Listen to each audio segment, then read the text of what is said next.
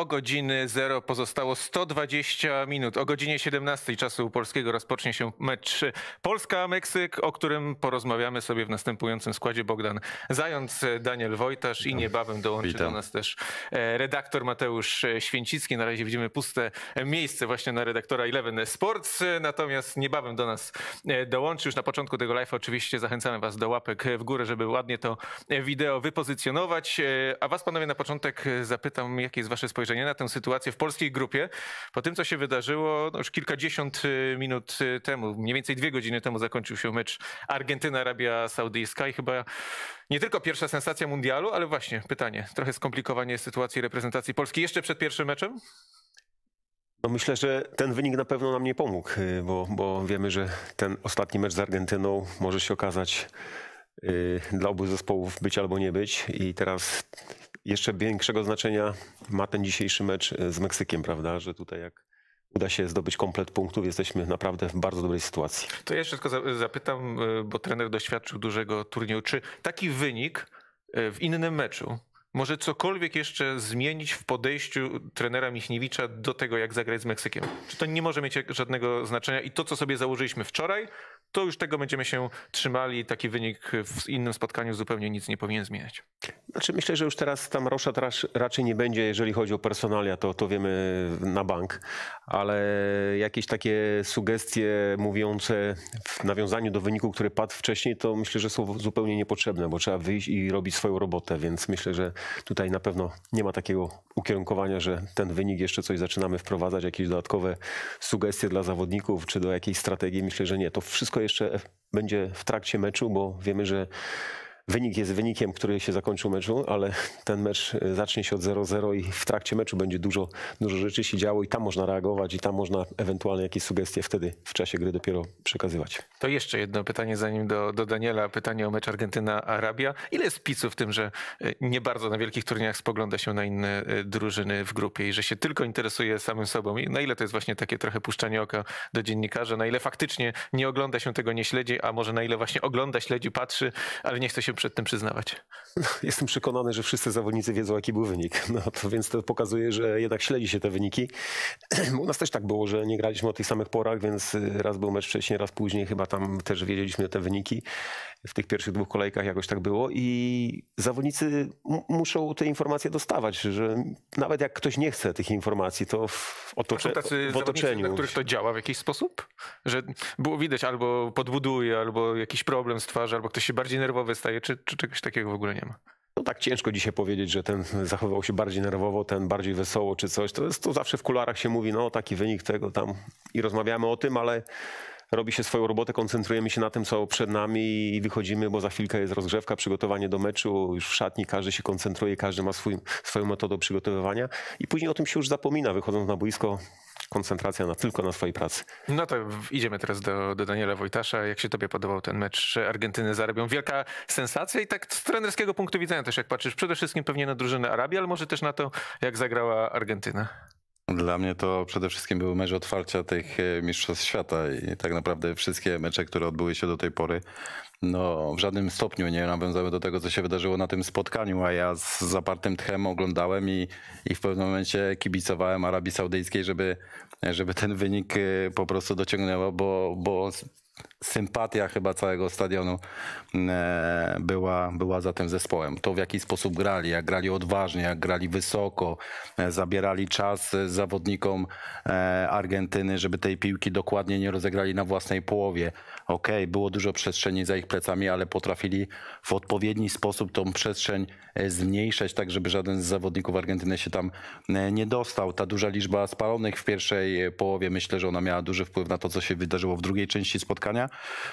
No i koniec końcem uważam, że Arabia zasłużenie ten mecz wygrała. A zaskoczyło cię to, jak odważnie grali przeciwko Argentynie? Bo ta pierwsza połowa, choćby kiedy mówisz o łapaniu na, na spalone, te, te trzy gole ostatecznie nieuznane, za każdym razem właśnie złapanie na pozycji spalonej zawodnicy e, Argentyny, mm, to jednak patrzyliśmy na Arabię trochę jak na taką drużynę, która może być dostarczycielem punktów w tej e, grupie. Oni wysoko atakowali Argentynę, grali bardzo e, odważnie. Chyba należy bardzo zmienić zdanie o tej drużynie o tym, co może nas czekać w drugim meczu, chociaż na razie jeszcze ten pierwszy przed nami oczywiście.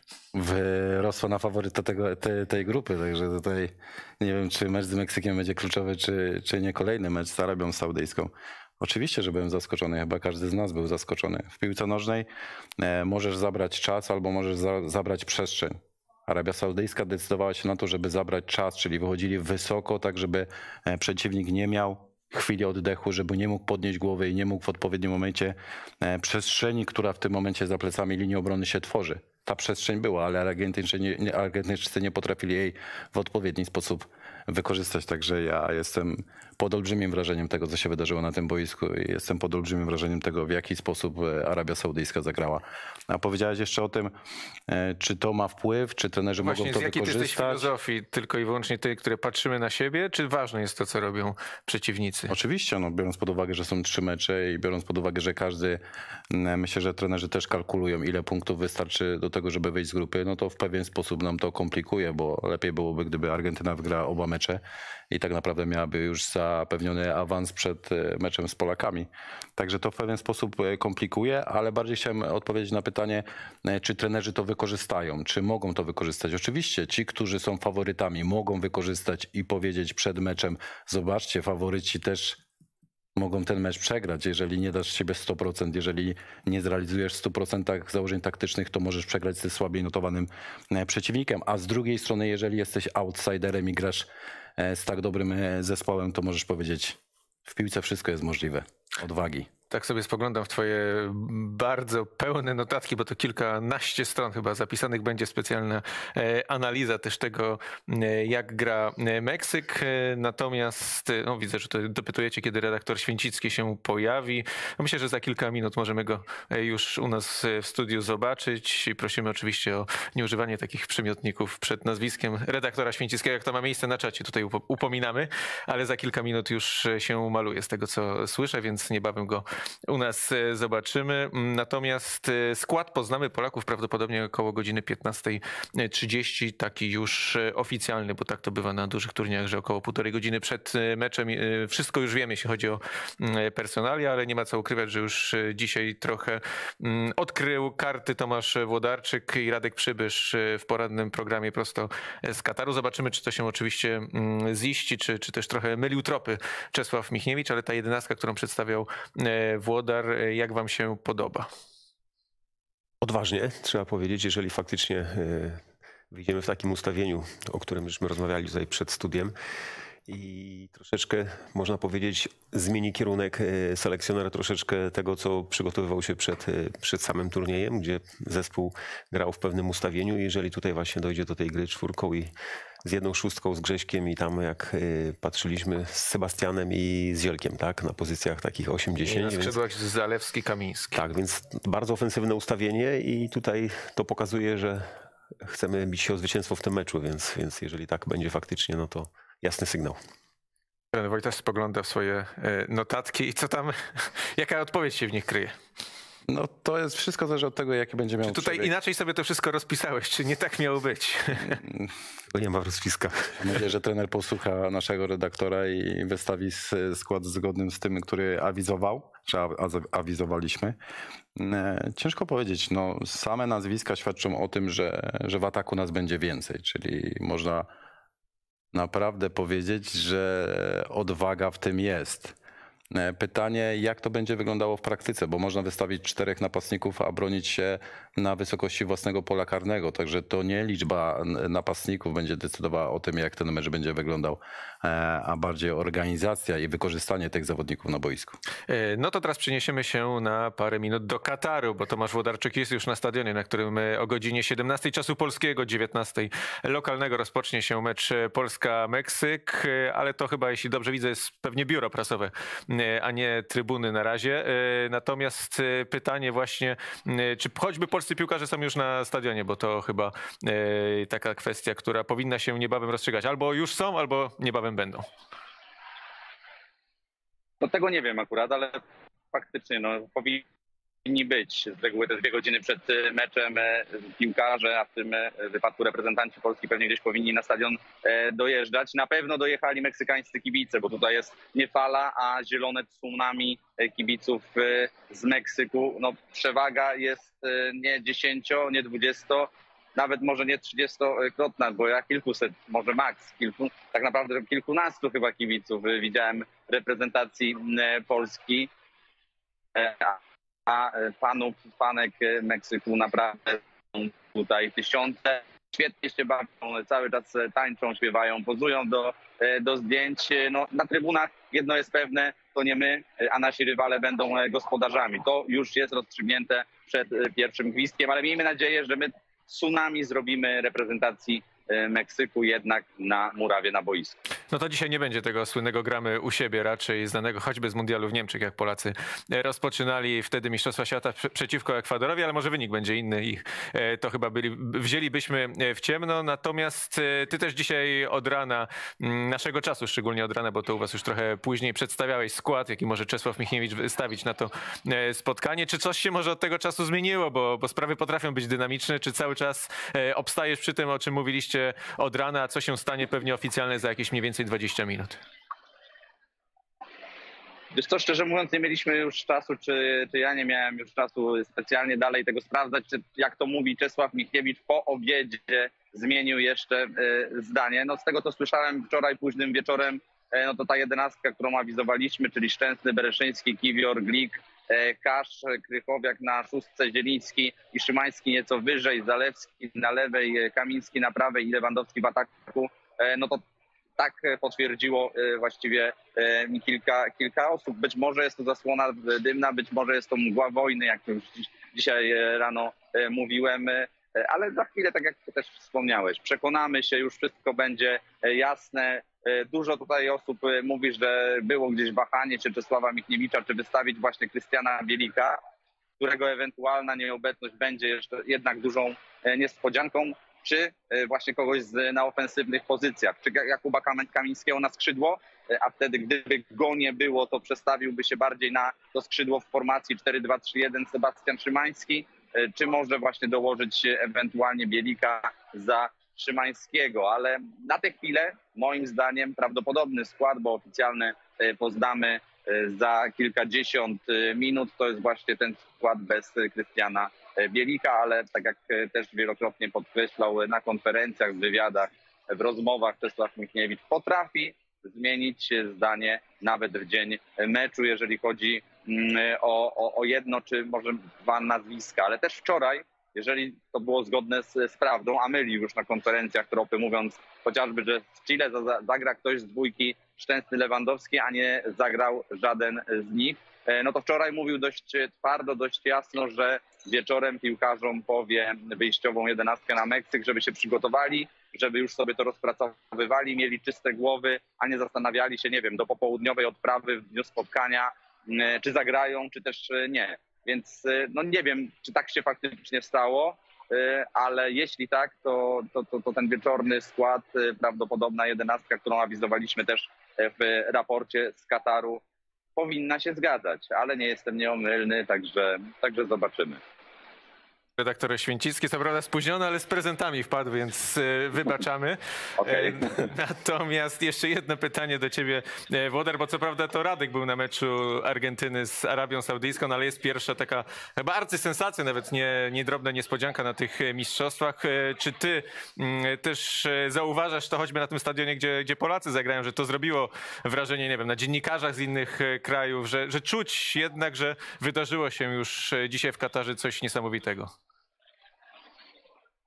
Tak, tak. No tutaj e, oglądaliśmy sobie też na telefonie to spotkanie. No to jest giga e, sensacja. Nie ma e, co ukrywać. Arabia Saudyjska znalazła sposób, najpierw grając wysoką obroną, a później się świetnie broniąc w drugiej odsłonie tego spotkania, strzelając dwa gole Meksykowi pierwszy raz na mundialu od 1900 78 roku, kiedy to Polska wygrała z Argentyną 3 do 2, więc czas strasznie długi, od kiedy w ten sposób Argentyńczycy w pierwszym spotkaniu tracili gole i w dodatku przegrali. No, jest to historyczny wynik, nie ma co ukrywać. Myślę, że cała Arabia Saudyjska dzisiaj świętuje, zaprezentowali się świetnie pod, pod kątem planu e, taktycznego. Erw Renard przygotował tych piłkarzy doskonale. E, ta bramka e, druga El Dausariego była naprawdę piękna.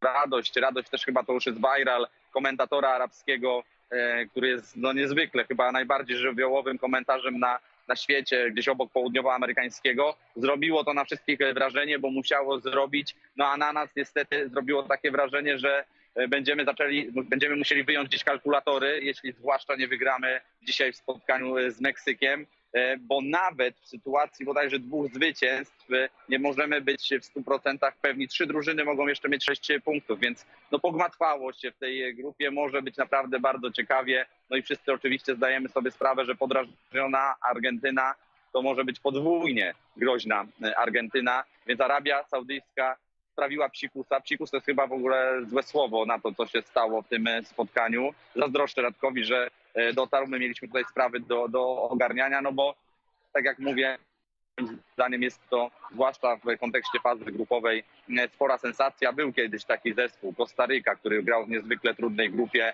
a zajął ostatecznie w niej pierwsze miejsce z Anglią, Włochami, nie pamiętam trzeciego zespołu teraz z głowy. Każdy wskazywał ich na porażkę.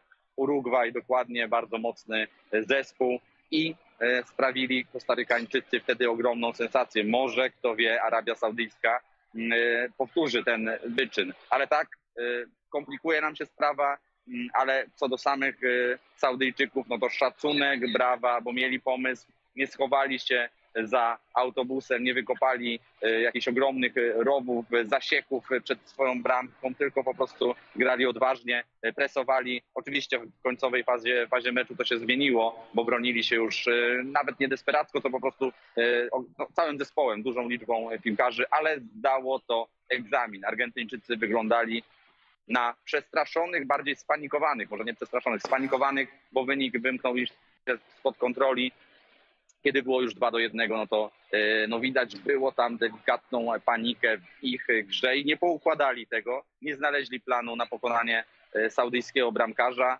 i mamy naprawdę pierwszą bardzo dużą sensację na tym mundialu. Szkoda w naszym polskim e... kandydat również jako numer jeden absolutny, a tak już wiele nie będzie. Dziękuję bardzo za tę relację, bo to chyba coraz więcej ludzi napływa na stadion, więc e, coraz gorzej to z internetem, ale chyba nie możemy wykluczyć, że jeszcze nawet w tym studiu się łączyć e, będziemy, a jak nie, to, to po meczu.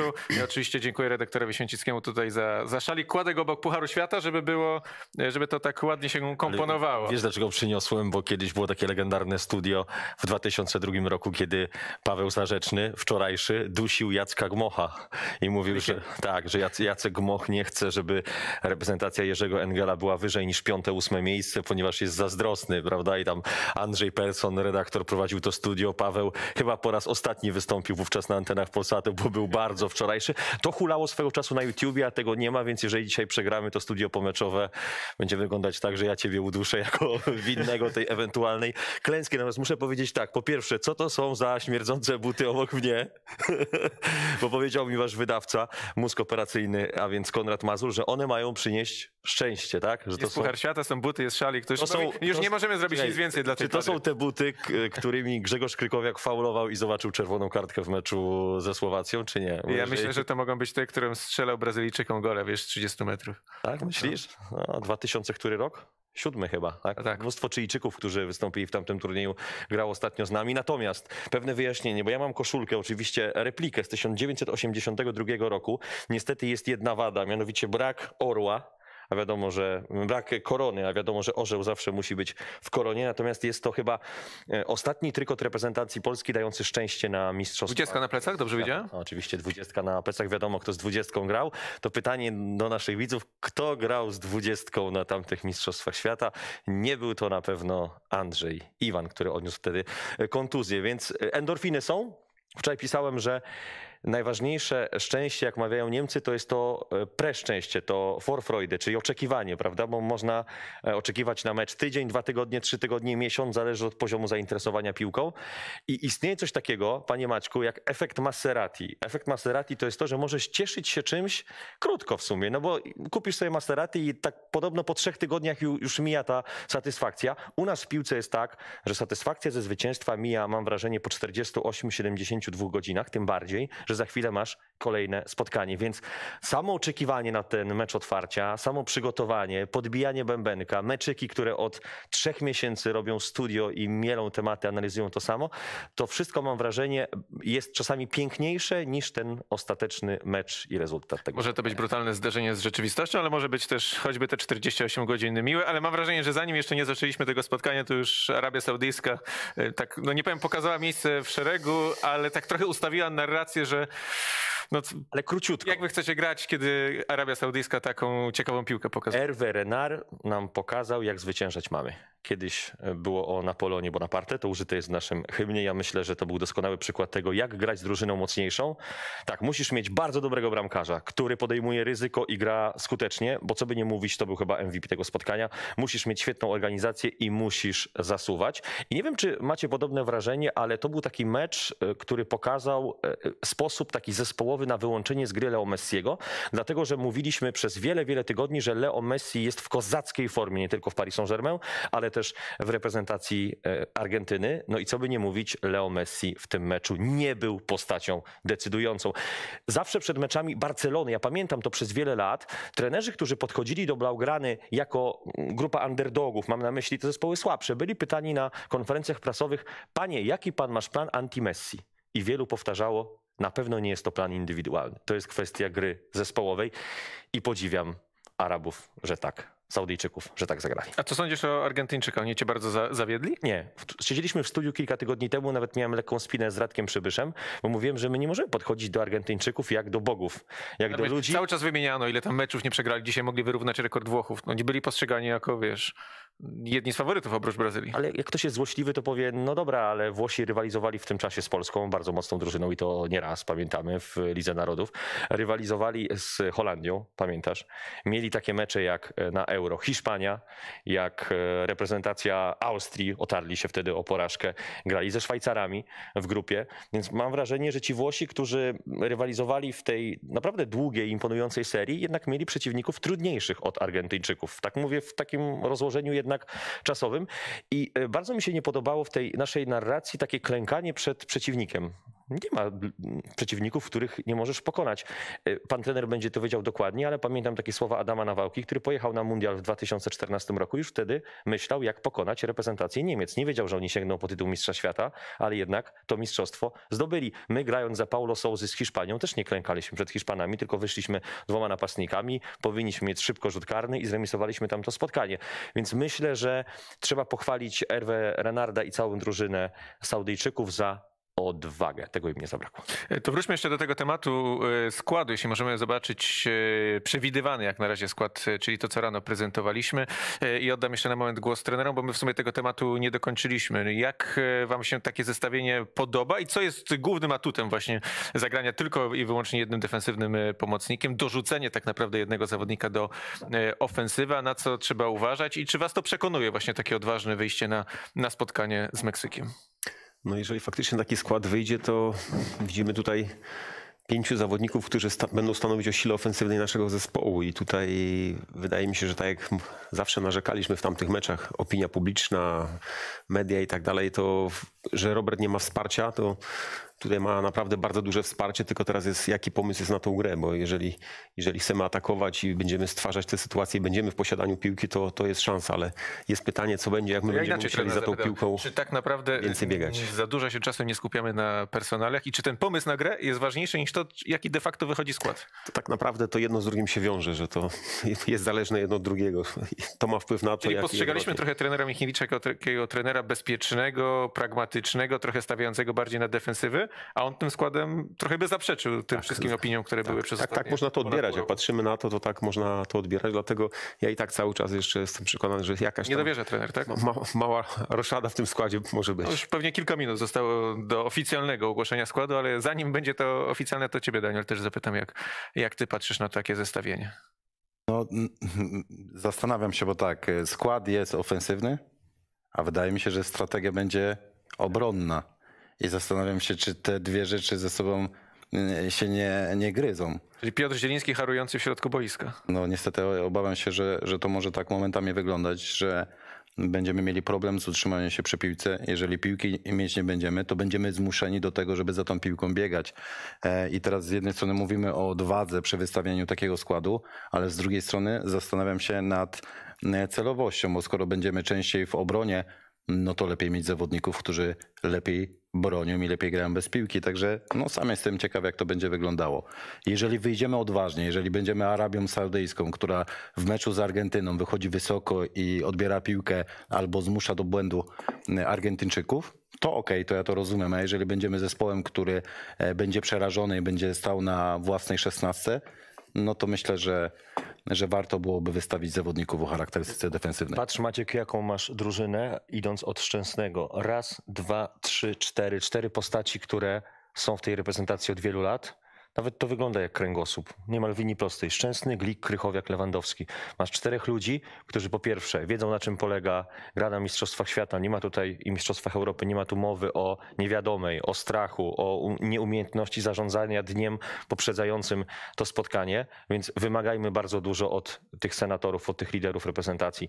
I ja uważam, że Arabia Saudyjska, oczywiście szanujemy trenera Hervé Renarda, bo miał świetny pomysł na Argentynę, ale jednak zaangażowanie poszczególnych piłkarzy, liczba wygranych pojedynków, gra na wślizgach. No mam wrażenie, że w ostatnich 15 minutach to już oni cierpieli na boisku. Mieliśmy takie wślizgi, po których zawodnik wyglądał jakby za chwilę miał umrzeć.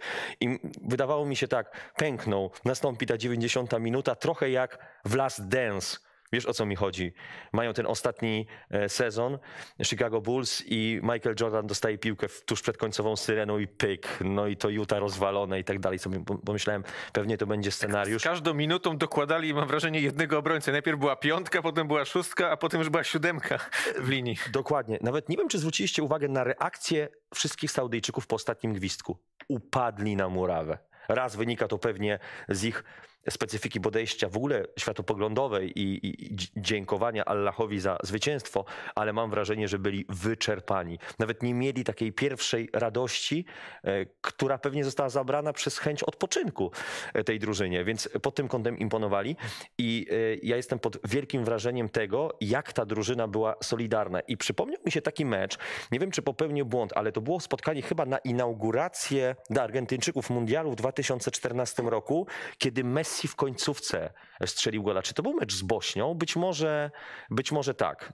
To było spotkanie e, numer jeden i czekaliśmy do tego ostatniego uderzenia Leo Messiego. Wiedzieliśmy, że on przed końcową syreną może zrobić różnicę, a tutaj tej szansy Argentyna de facto w tych ostatnich minutach nie miała i taka jedna symboliczna sytuacja, kiedy poszła prostopadła piłka chyba w 85, 84 minucie do Lautaro Martineza, nie było spalonego i widać było, że Lautaro wychodzi na czystą pozycję i co robił bramkarz? Bramkarz był na 18 metrze boiska podejmujący ryzyko. Ja uważam, że bramkarz potrafi zdestabilizować atmosferę w obronie, ale potrafi też tę obronę scementować i on dawał taką rękojmię, e, takie przekonanie, że nawet jak Messi dojdzie do sytuacji strzeleckiej w polu karnym głową, jak dojdzie Lautaro, to ten bramkarz sobie poradzi i dlatego rzucamy duży ciężar na pana Wojciecha. Ty pamięć masz wspaniałą, ale czasem e, dojdzie tam do, do pewnych e, Przekłamań. ścisłości. E, To był mecz, owszem, Mistrzostwa Świata 2014 z Iranem. No widzisz, Iranem. czyli jednak to ty pierwszy tutaj zgadłeś, tak, 91 minuta i zwycięstwo właśnie wtedy w Belo Horizonte Argentyny z mm, Iranem. Mam wrażenie, że, się, że są takie dwie sprzeczne opinie o podejściu do reprezentacji Polski. Jedna jest taka, że mm, nie potrafimy nic innego w inny sposób wygrywać niż tylko właśnie nisko broniąc, czekając na jedną, dwie okazje, a druga jest taka, że przecież my mamy takich zawodników, że powinniśmy grać ofensywnie. Ty do którego obozu się zapisujesz? Wiesz co, okrakiem, trochę tu, trochę tu, ale powiem ci, że można się pięknie bronić. Y, Arabia Saudyjska pokazała, że gra defensywna potrafi być też naprawdę ujmująca. Ja oglądałem to z wielką przyjemnością. Trochę jesteśmy zainfekowani takim kultem ofensywnej piłki. Mnie się to nie podoba, dlatego że w różnorodności siła. Nie, nie miałbym nic przeciwko, żeby reprezentacja Polski broniła się jak w 2016 roku, kiedy nie przegrywała nawet przez minutę. I to moim zdaniem powinno być punktem odniesienia dla Czesława Michniewicza. Nie przegrywać nawet przez minutę. Tak na szybko liczę, bez straconego gola w fazie grupowej, potem Shakiri taki gol nie do wybronienia, tak, bo to piękna przewrotka i potem tylko jeden gol z Portugalią, czyli I pięć patrz- meczów, dwa stracone gole. I patrz, kozacki bramkarz. Mam na myśli Fabiańskiego. I pamiętam, jak rozmawiałem z Łukaszem Fabiańskim o tej sytuacji z meczu ze Szwajcarią, kiedy Derdiok miał sytuację wymarzoną do zdobycia bramki. I tam Łukasz mówił o takim zaufaniu do swoich umiejętności. To znaczy, że kiedyś był bramkarzem, który chciał antycypować, przewidywać zachowanie ludzi i dopiero w Swansea, co było takim rewolucyjnym czasem dla niego pod kątem zmiany mentalności, e, gry bramkarskiej, Trener hiszpański, jeżeli dobrze pamiętam, mówi mu: Łukasz, ty jesteś takim kozakiem, że musisz zaufać swoim umiejętnościom. Nie przewiduj, tylko reaguj, bądź reaktywnym bramkarzem.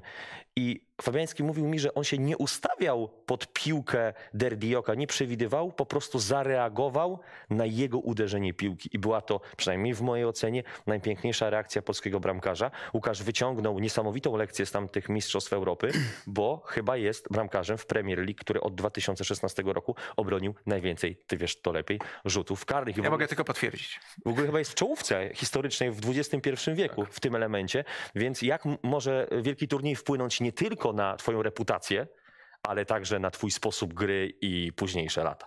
No to pozostanę przy tej defensywie, bo, bo tutaj Mateusz wywołał ten temat Euro 2016 Mm, i na ile wy wtedy też analizując, bo, bo od razu się powołam na takie mm, badania też, które sobie w Anglii przeprowadzili przed Euro 2020, że żeby osiągnąć wynik, y, dobry wynik na, na dużym turnieju, to jest przede wszystkim ważna defensywa. Nie wcale, żeby grać e, jakoś bardzo ofensywnie, efektownie, że to nie zawsze daje e, tak naprawdę wspaniałe rezultaty. Są oczywiście pewne wyjątki, ale choćby Francja w 2018 roku to też nie był zespół, który porywał, który wygrywał Mistrzostwo Świata i, i na ile to też wy, wynikało z takiego no po prostu pragmatycznego podejścia, że wtedy, w tym, tym 2016 roku ta defensywa była niesamowicie stabilna. Znaczy powiem ogólnie, jak popatrzymy na turnieje, to zwróćmy uwagę, że to nie tylko Polacy. Popatrzmy na Niemców, popatrzmy na Holendrów w ostatnim meczu z Senegalem. Są fazy przejściowe, wracasz się do defensywy i bronisz bardzo nisko. Dzisiaj wszystkie zespoły potrafią się bronić, nawet jak oglądamy Ligę Mistrzów. Zespoły, które zdecydowanie mają większy potencjał piłkarski, ale jak przychodzą do fazy bronienia, to praktycznie 10 zawodników jest za linią piłki. Starają się grać nisko, blisko siebie i czekając na swoje szanse. Teraz wracając do Euro. Y, Rozmawiamy o tym, że graliśmy, może tutaj takie padło słowo pragmatycznie, ja bym tak nie powiedział, że pragmatycznie. Byliśmy dobrze zorganizowani, ale myśmy nie, nie strzelali bramek po szybkim ataku, jak sobie przypomnicie. Myśmy po kolei, jak popatrzymy na bramki. W ogóle jak prześledzimy całą statystykę reprezentacji Polski za kadencji selekcjonera Nawałki. Myśmy zdobyli 99 bramek. Tak strzelcie teraz Ile bramek z tego padło po szybkim ataku? Mówimy, że gra, reprezentacja grała defensywnie, prawda? No tak, tak na, szy, na szybko. To było prawie 5 lat gry, tak? Z 99 bramek. Procentowo jakbyśmy mieli ocenić. To ja, 30. 30. Następny to tak właśnie próbujmy. Czuję tutaj jakąś y, podpuchę, więc powiem 15. No, dlatego powiem wam, jak statystycznie to wyglądało, bo to bardzo głęboko już my to analizowali, naszą, naszą pracę z kadrą. Więc na 99 bramek myśmy szczelili 50 bramek, 50% bramek po ataku pozycyjnym. I 25% stały fragment gry i 25% z ataku szybkiego. Czyli to pokazuje strategia strategią, ale sposób zdobywania bramek też różnorodny, prawda? Że to nie było tylko, jak to się mówi, wybijanka obrona Częstochowy, jak to się mówi, laga do przodu i strzelimy bramkę po szybkim ataku, prawda? My też mieliśmy taką cechę. No muszę tylko tobie przerwać, ale jest ważna informacja, jest skład potwierdzony i to jest, tutaj do trenera się odwołam, bo on nie dowierzał cały czas, Jest ale to jest ten sam skład, który tutaj wisi za naszymi Oj, a mnie się to nie e, plecami. Ja go tylko jeszcze przeczytam, tutaj za łączy nas piłka Szczęsny, Bereszyński, Glik, Kiwior, Kasz, Kamiński, Krychowiak, Sebastian Szymański, Zieliński, Zalewski i Lewandowski. Nie wiem, czy cokolwiek ma oznaczać ustawienie Bartosza Bereszyńskiego tuż pod Wojciechem Szczęsnym, ale chyba to będzie jednak lewa obrona, a Kasz na prawej Chyba tutaj nie, się ja chyba... pamiętam- I uśmiechnięty Mati Kasz, e, człowiek, któremu uśmiech z twarzy nie schodzi. Ja pamiętam, że przed Mundialem w 2006 roku graliśmy całe eliminacje z dwoma atakującymi, później wyszliśmy na Ekwador tylko z Maciejem Żurawskim, było źle. Paulo Souza grał przez miażdżącą większość swoich spotkań jako selekcjoner z dwoma napastnikami i na Słowację wystawił jednego i było źle i mam nadzieję, że to nie będzie hat-trick reprezentacji Polski, jeżeli chodzi o takie kompromitujące rezultaty. Ale jedna rzecz, to co mi się bardzo podobało w kadrze Nawałki, to że ona na samym początku meczów nie dawała rywalowi poczuć, że on tej kadrze może zrobić krzywdę. To znaczy ofensywnie z Irlandią Północną, bardzo ofensywnie z Niemcami. Sytuację mieliśmy, pamiętamy, prawda? Chociażby Arkadiusz Milik. Bardzo ofensywnie z Ukrainą. Ten mecz już był powiedzmy takim potwierdzającym naszą dominację. Zdobywamy pierwsi bramkę bardzo szybko w meczu ze Szwajcarią i też doprowadzamy do wyniku 1 do 0 w meczu z Portugalią. Obyśmy tylko nie zachowali się tak jak z Senegalem, że nagle rywalowi oddamy piłkę, a on poczuje, że Polaków można trafić, bo to analizowaliśmy w meczykach. Szalenie trudno jest polskiej reprezentacji odrobić wynik w trakcie wielkiego turnieju i w ogóle zwyciężyć. To jest, jest bardzo trudne. Ale tak wracając do meczu z Senegalem, jak wspomniałeś o nim, to myśmy jednak byli tam więcej w posiadaniu piłki. Myśmy tą piłkę tak często nie oddawali tym Senegalczykom. To oni byli, oni czekali na nas jakby bardzo skondensowani w fazie bronienia, bo 4-4-2 i czekali na, to, na tą akcję, a tych akcji wiele nie stworzyli, to też tak trzeba powiedzieć. W ogóle prawda? mecz strasznie frajerski pod kątem błędów. Nawet wczoraj Tak, oglądałem skrót taki obszerny tego spotkania na YouTubie i muszę powiedzieć, że takich e, błędów Kuriozum. za które się płaci i bardzo wysoką cenę, to dawno nie było. Ale trener mówił o tym, że zespoły, które osiągają sukces, to mierzymy oczywiście kwestią ambicji. Na wielkich turniejach mają świetną obronę. Panowie, reprezentacja Hiszpanii, bo odwołujemy się do tego przegranego meczu ze Szwajcarią, teraz mówiąc, że Argentyna ma szansę. Reprezentacja Hiszpanii w 2010 roku gra bardzo defensywną i mało atrakcyjną dla oka piłkę, wygrywając mecze po 1 do 0. Pamiętacie, chociażby mecz półfinałowy, mecz finałowy 1 do 0. Oni kiedy- całą, od fazy Pucharu przejechali cały czas na 1-0, tak? i nawet chyba mieli jakąś dogrywkę jedną, pamiętasz, jak już później um. Paragwajem to nie było? Możliwe, grali też z Chile, które prowadził Marcelo Bielsa. To były spotkania bardzo trudne dla reprezentacji e, Hiszpanii, która, pamiętajcie, w finale dzięki kapitalnej postawie Casillasa długo miała wynik 0 do 0. Włosi w roku 2006 stracili samobójczą bramkę Zaccardo, a później dopiero Zidane strzelił gola w finale. Jaki z tego jest ym, wniosek? Obrona, obrona i jeszcze raz obrona. Ja uważam, że najlepszym atakiem jest obrona. Kiedyś ktoś powiedział, nie będę mówił kto, bo nie warto, że najlepszą obroną jest atak. Ja uważam, że najlepszym atakiem jest obrona. Tak się tobie podoba ten skład, bo to w sumie chyba... Podoba mi się, mówiłem ci, że ja bym postawił na Świderskiego i Lewandowskiego. E, Wiesz, jako wielki fan Championship Managera, Football Managera i tak dalej, różnych ustawień taktycznych, zagrałbym odważniej, ale umówmy się, że ja nie zarabiam e, 500 tysięcy złotych miesięcznie, jak e, Czesław patrzy się na mnie trener, nie, nie, to. Czesław Michniewicz. Zobaczymy. Myślę, że Czesław Michniewicz Czyli w ustawieniu 4-4-2? jest wielkim zwolennikiem jednej rzeczy, że czwórka w obronie dała mu awans. A jakbyśmy tutaj wstawili Beresia na pół prawego, to co było za, za Sołzy, może czasem też to być takie i mamy wtedy wahadełka, więc też może to jest tylko zamieszane personalnie w ustawieniu, a może gramy troszeczkę Wojtek Szczęsny mówi, że oni w Juventusie czasem wychodzą teoretycznie na papierze e, powiedzmy trójką, a okazuje się, że to jest czwórka, po 15 minutach to jest y, znowu trójka, a później to jest dwójka i ostatecznie płynnie przychodzą. przychodzą bardzo płynnie. Może to jest jakiś... Ale to, co mnie najbardziej w tym składzie zaskakuje, to nie ostatecznie personalia, a to, że od rana nie zmienił się ten skład do oficjalnego podania, bo spodziewałem się, że jeszcze będą jakieś, wiesz, wypustki takie, że e, sam fakt tego filmiku nałączy nas piłka, który najpierw był, potem zniknął, potem go e, jakby chyba przywrócono bez już tej sceny, która została wycięta z, z tą tablicą. Teraz też skład już od, od rana podany przez Tomka. Myślałem, że gdzieś tutaj kryje się jakiś mimo wszystko mm, taki znak zapytania. Wy dostaliście czerwoną kartkę od selekcjonera, tak? Teraz to już nie wiem, jaka będzie wiesz, po tym składzie porannym programie. To sypnął. Ale Włodar się Włodar- tłumaczył, że taka jest jego robota i on, on te składy będzie Oglądałem, podawał, tak, tak. dopóki Ale ja jestem w stanie miał. to uwierzyć i tutaj myślę, że trener ciekawą rzecz powiedział, że, że ten skład, czyli te 4-1-4-1, nawet tutaj z tymi zawodnikami już w tym momencie może wyglądać inaczej. To może być piątka obrońców, to może być e, Zalewski, Bereszyński, Kiwior, Glik i. I Prawda? może to być 5-4-1. Nawet Bartosz Bereszyński mówił w futraku, że grał taki jeden mecz w tym sezonie w barwach Sampdori, kiedy wystąpił w roli półprawego, środkowego obrońcy i, i jakoś sobie y, radził. To zależy, czy będziemy musieli atakować, czy bronić. Myślę, że pod tym kątem, no ale okej, no nie jest źle. Mogło być gorzej, jeżeli chodzi o ten skład. Ale pa- pamiętamy, ustawienie takie było właśnie za trenera Sołzy, prawda, że Be- Bereś grał pół prawego i środkowego. E, natomiast jest jedno nazwisko, może dwa, mm, jak tak patrzę na ten skład, no jedno to na pewno, które od razu wzbudza wielkie e, sensacje i takie, taką dyskusję, to z reguły dyskusję negatywną. Mimo wszystko Grzegorz Krychowiak tak w jego kierunku e, patrzy. Czy wy rozumiecie wybór Grzegorza Krychowiaka kosztem Krystiana Bielika, na którego tak trochę chuchaliśmy, dmuchaliśmy co tydzień tylko albo nawet dwa razy w tygodniu, bo tych meczów w Championship było mnóstwo. Sprawdzaliśmy, czy jest zdrowy, czy nic mu nie jest. Ostatecznie zdrowy wydaje się, przynajmniej nie było żadnych informacji o tym, żeby nie, nie miał grać z powodu kontuzji. Dojechał do mistrzostw, a jednak w podstawowym składzie wychodzi Grzegorz Krychowiak i czy ten wybór jest zrozumiały? Dla mnie jak najbardziej. Y, Krystian Bielik nie zagrał chyba żadnego meczu teraz w ostatnim czasie w reprezentacji. Y, nie ma... Ostatni to chyba ten bara ze Szwecją. Tak, no dlatego tutaj w tym, w tym czasie teraz y, przez ostatni okres w ogóle Krystiana nie widzieliśmy.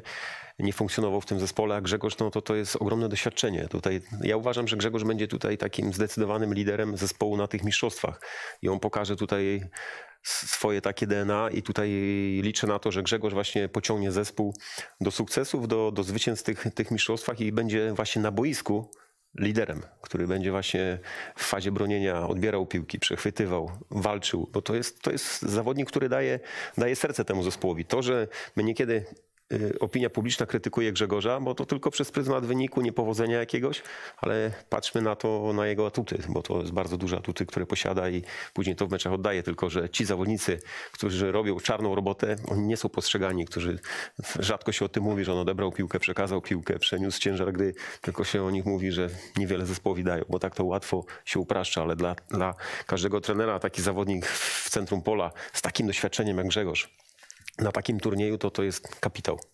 Tak sobie myślę, że też chyba człowiek, który ma coś do udowodnienia po tym meczu ze Słowacją, Uj, e, który bardzo dużo go kosztował, chyba też emocjonalnie. E, natomiast może ta liga, w której gra wcale e, nie jest taka zła, jak to postrzegaliśmy, biorąc pod uwagę, jaki wynik Arabia Saudyjska osiągnęła. Ty, Danie, też rozumiesz i, i kupujesz te argumenty trenera Zająca? Ja przede wszystkim patrzę na to nie tylko jako mecz z perspektywy pierwszej minuty. Że to może być bo... pewien szerszy plan i tak, oczywiście, bo, coś się więcej może wydarzyć. Bo tak? mając Bielika na ławce, mm, czy na niego czekaliśmy, czy powinien grać w pierwszym składzie, myślę, że trener buduje strategię całego meczu i oprócz tego, że myśli o tym, kto wyjdzie na boisko w pierwszym składzie, też dobrze wie pewnie, jakie będą te kolejne zmiany. Ja nie zdziwiłbym się, gdyby w 60 minucie właśnie Bielik za, zastąpił e, Krychowiaka. No biorąc pod uwagę, jak Grzegorz Krychowiak wygląda w drugiej połowie, szczególnie tak od 60 minuty meczu z Chile, to chyba nie możemy w ogóle zakładać, że rozegra 90 minut. To, to chyba jest poza dyskusją. Powiem tak, e, trener Luciano Spalletti, a więc ten, który też Zielińskiego wniósł na trochę wyższy poziom, jeżeli chodzi o skuteczność i tak dalej, mówi, że nie ma zawodników rezerwowych dzisiaj. Są podstawowi na przykład na 60 minut i podstawowi na minut 30, którzy lepiej grają, kiedy wchodzą z ławki rezerwowej. Więc... W mundialu to wszystko się musi sumować tak do 100 minut albo więcej jeszcze. Powiem ci, że to jest ciekawe. Wszystko się skraca. Nawet są takie takie opinie prądy, żeby wiesz, w wielkim szlemie już nie grać tych powiedzmy potencjalnie pięciu setów, tylko żeby to się kończyło w trzech, a piłka jest coraz dłuższa i mam nadzieję, że będzie wprowadzony w końcu e, ten, ten, wiesz, timer, który zatrzymuje grę, dlatego że wówczas piłkarze nawet nie będą chcieli kraść tych sekund, bo i tak będą mieli świadomość, że ten czas jest wtedy zatrzymywany. Ale bardzo ciekawy pomysł, bo ty już się raz powoływałeś na naszego wydawcę Konrada Mazura i tak y, on rzucił, że właśnie o tę 85 minutę doliczasz czas w 85 i od tego czasu tylko i wyłącznie zatrzymujesz zegar, jak jest y, okazja do tego, że nie, że nie grasz, no to wtedy ciach, zatrzymujesz i to jest takie naprawdę ciekawa koncepcja. W ogóle to mm, spowodowałoby, że wielu piłkarzy musiałoby zmienić swoje przyzwyczajenia. Tych, którzy y, wyrośli w zupełnie innej piłce i gorzej mieliby trenerzy defensywni, mam wrażenie, bo oni zawsze każą tam jakiś czas ukraść. Natomiast co do Krychowiaka, w Polsce jest taka mentalność, która e, została świetnie opisana. Polecam wszystkim. Jest okazja, bo dużo osób nas ogląda. 21 polskich grzechów głównych. To nie jest książka antypolska, ale taka, która piętnuje nasze wady. I jest coś takiego jak kozło ofiaryzm. Jak coś się wali, to trzeba znaleźć jednego, który jest odpowiedzialny. Nie system, nie rozwiązania, nie cała koncepcja, nie grupa 23 piłkarzy, a jeden. I mam wrażenie, ja już to wiem na 100%, że jak odpukać w niemalowane, to kto nim będzie? Grzesiu, Grzegorz no, oczywiście Grzegorz Krychowiak, który jest zawodnikiem chyba jedynym w kadrze grającym pod lupą. To znaczy każdy obserwuje zachowania Krychowiaka. Znaczy on już wchodzi z bagażem, e, na, przynajmniej jeśli chodzi o opinię kibiców. On już wchodzi z takim negatywnym nastawieniem wielu, wielu kibiców. I powiem ci więcej. Bardzo duże znaczenie dzisiaj w odbiorze zawodników mają te reelsy, shortsy, jakbyśmy to nie nazwali Czyli wycinanie pojedynczych rzeczy, które w całym kontekście pewnie mają mniejsze znaczenie, ale wycięte i pokazane. No, są to wiesz, co mi się od razu przypomina? Szymon Żurkowski, jego przyjęcie piłki w tym meczu ostatnim z Chile.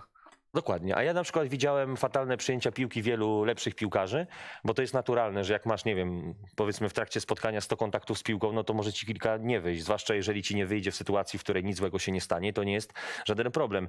I Krychowiak ma ten kłopot, że on na wypadek dobrego spotkania pewnie nie będzie doceniany tak, jak będzie krytykowany, kiedy, kiedy ten mecz będzie mm, gorszy w wykonaniu całej reprezentacji. Natomiast musi wystrzegać się jednego i mam nadzieję, że to nie nastąpi, czyli szybko żółta kartka, bo wtedy wrócą stare demony, a jednak on nie umiał tą żółtą kartką zarządzać w meczu ze Słowacją i niestety zobaczył czerwoną w najgorszym możliwym momencie, kiedy dojeżdżaliśmy Słowaków, a później ci Słowacy, którzy mają kontakty z polskimi piłkarzami, którzy znają polskich piłkarzy, mówili cholera, to nas uratowało, bo już nas dojeżdżaliście, bo już siedzieliście się nam na karku i łapaliście nas za szyję.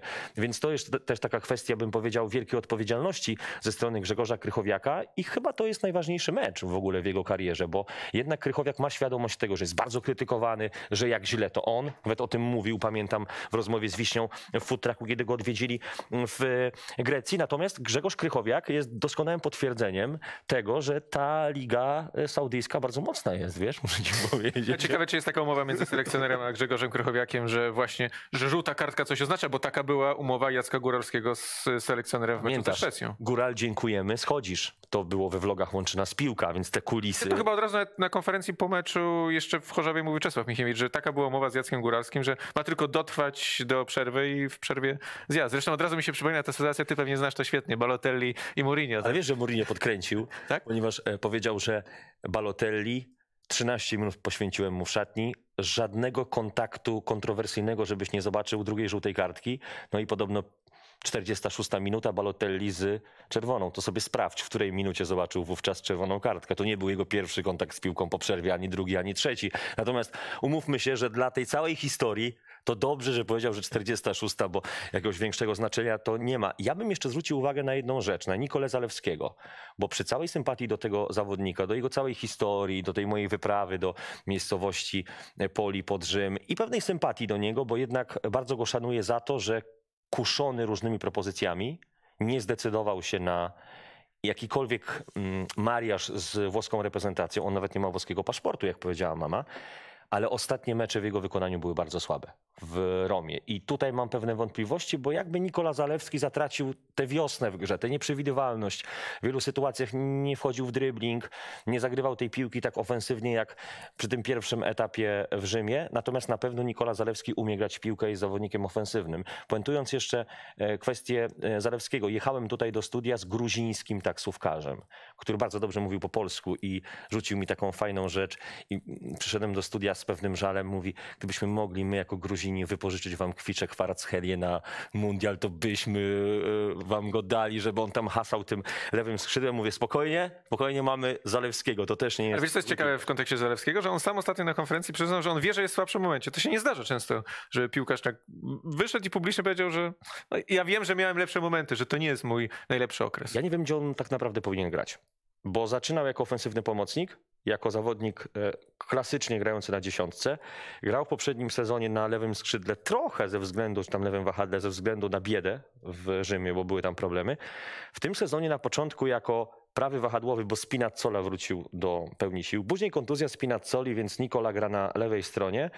I boję się trochę, że on jest piłkarzem na razie nieokreślonym. Jego rówieśnicy, jego koledzy z Primavery Romy mają konkretne pozycje, Volpato, Bowe, a ten Nikola Zalewski rzucany jest tam, gdzie jest dziura. My mieliśmy takiego jednego polskiego piłkarza, Dariusza Dudkę, który był teoretycznie wszędzie dobry.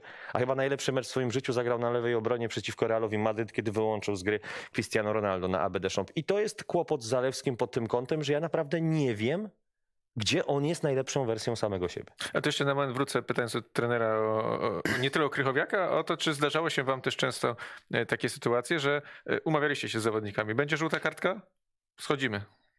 Nie, takich, takich sytuacji nie było, żeby było konkretnie powiedziane, że żółta kartka cię eliminuje, że zaraz następuje zmiana, tylko zawsze było to, że jak już jest żółta kartka, to już tak, taka lampka ostrzegawcza, żeby analizować sytuację, żeby nie podejmować A byli tacy decyzji. piłkarze, których byliście pewni, że on sobie może z żółtą kartą jeszcze pograć pół meczu, nie ma problemu, a byli tacy, gdzie wam się od razu czerwona lampka wam najpierw zapalała, żeby nie było czerwonej kartki dla piłkarza? Znaczy powiem szczerze, że zawsze mieliśmy za, zaufanie do Grzegorza Krychowiaka, bo to jest niesamowicie odpowiedzialny chłopak i tutaj akuratnie sytuacja, która zdarzyła się w meczu ze Słowacją, pamiętajmy, że to było troszeczkę przypadku w tym wszystkim.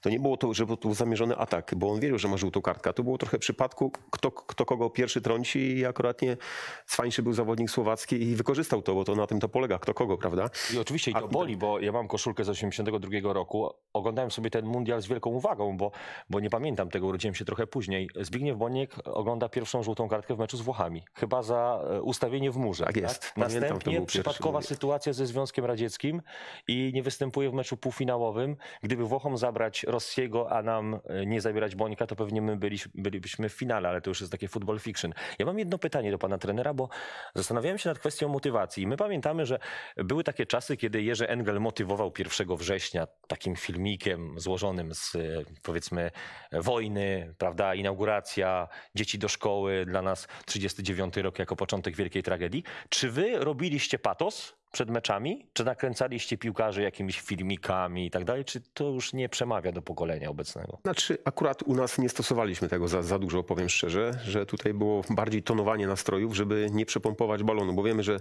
ten balon, umówmy się, że po, po tych y, początkowym roku, gdzie było przygotowanie kadry, bo to mieliśmy rok czasu na to, żeby tą kadrę przygotować i wystartowaliśmy naprawdę dobrze w eliminacjach, bo to wiadomo, zwycięstwo nad mistrzami świata, prawda, to już zaczęło napędzać tą koniunkturę, pompować ten balon, wygrane eliminacje, prawda, awans y, z tego miejsca, gdzie tam jak patrzyli wszyscy, to mówili, że jak czwarte miejsce zajmiemy, no to będzie i tak sukces. Mieliśmy Irlandczyków, mieliśmy przecież wtedy jeszcze Szkotów. Szkotów to, to, to, Niemców oczywiście. to wte, wtedy wszyscy, wszyscy byli przed nami w rankingu i myśmy byli daleko, daleko za nimi, prawda? Pamiętam taki klimat przed pierwszym meczem chyba z Gibraltarem, kiedy Niepokój, tak, niepokój. zwraca uwagę, że ten Gibraltar to jest mocna drużyna, tam może być figiel, bo oni chyba wcześniej zremisowali jakiś mecz dosyć niespodziewanie. Po- Powiem tak, lecąc na ten mecz samolotem, taką anegdotkę, to leciało z nami kilku redaktorów. No i tak, Czy nie? tak z, z niepokojem o tym meczu mówili, nie? A my, my, my wiedzieliśmy o sile zespołu, wiedzieliśmy, yy, bo jak sobie przypominacie, to była taka sytuacja, że młodzieżówka wtedy grała mecz z Grekami. Nie wiem, czy pamiętacie tą sytuację i Marcin Dorna prowadził młodzieżową reprezentację. I Arkadiusz I Milik. wtedy Milika, tak. Chodziło o Arka Milika, chodziło o Piotra Zielińskiego, Karola Linatiego, ale coach wtedy jasno i klarownie powiedział. Piotrek Zieliński i Arek Milik jest potrzebny tej reprezentacji, bo to jest mecz, który jest kluczowy pod przygotowanie się do meczu z Niemcami, który chcemy wygrać. No wtedy prezes Boniek troszeczkę żartobliwie do tego podszedł, ale to był właśnie pierwszy mecz, w którym Robert Lewandowski wystąpił od początku z Arkiem Milikiem. I to było naszą siłą tego zespołu. I ten mecz z Gibraltarem jakby potwierdził, że kierunek to, co żeśmy budowali przez rok czasu, wszystko było już spięte na ostatni guzik.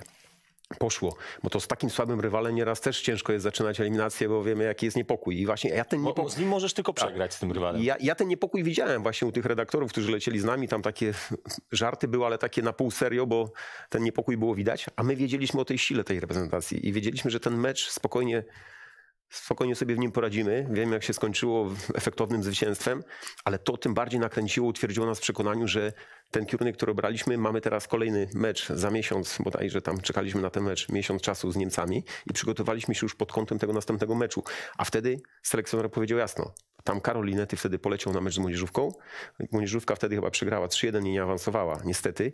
I później, że zabrakło Piotrka z Arkiem, ale oni byli już kluczowymi zawodnikami tej reprezentacji priorytet, pierwsza reprezentacja. No i tak, tak powinno być.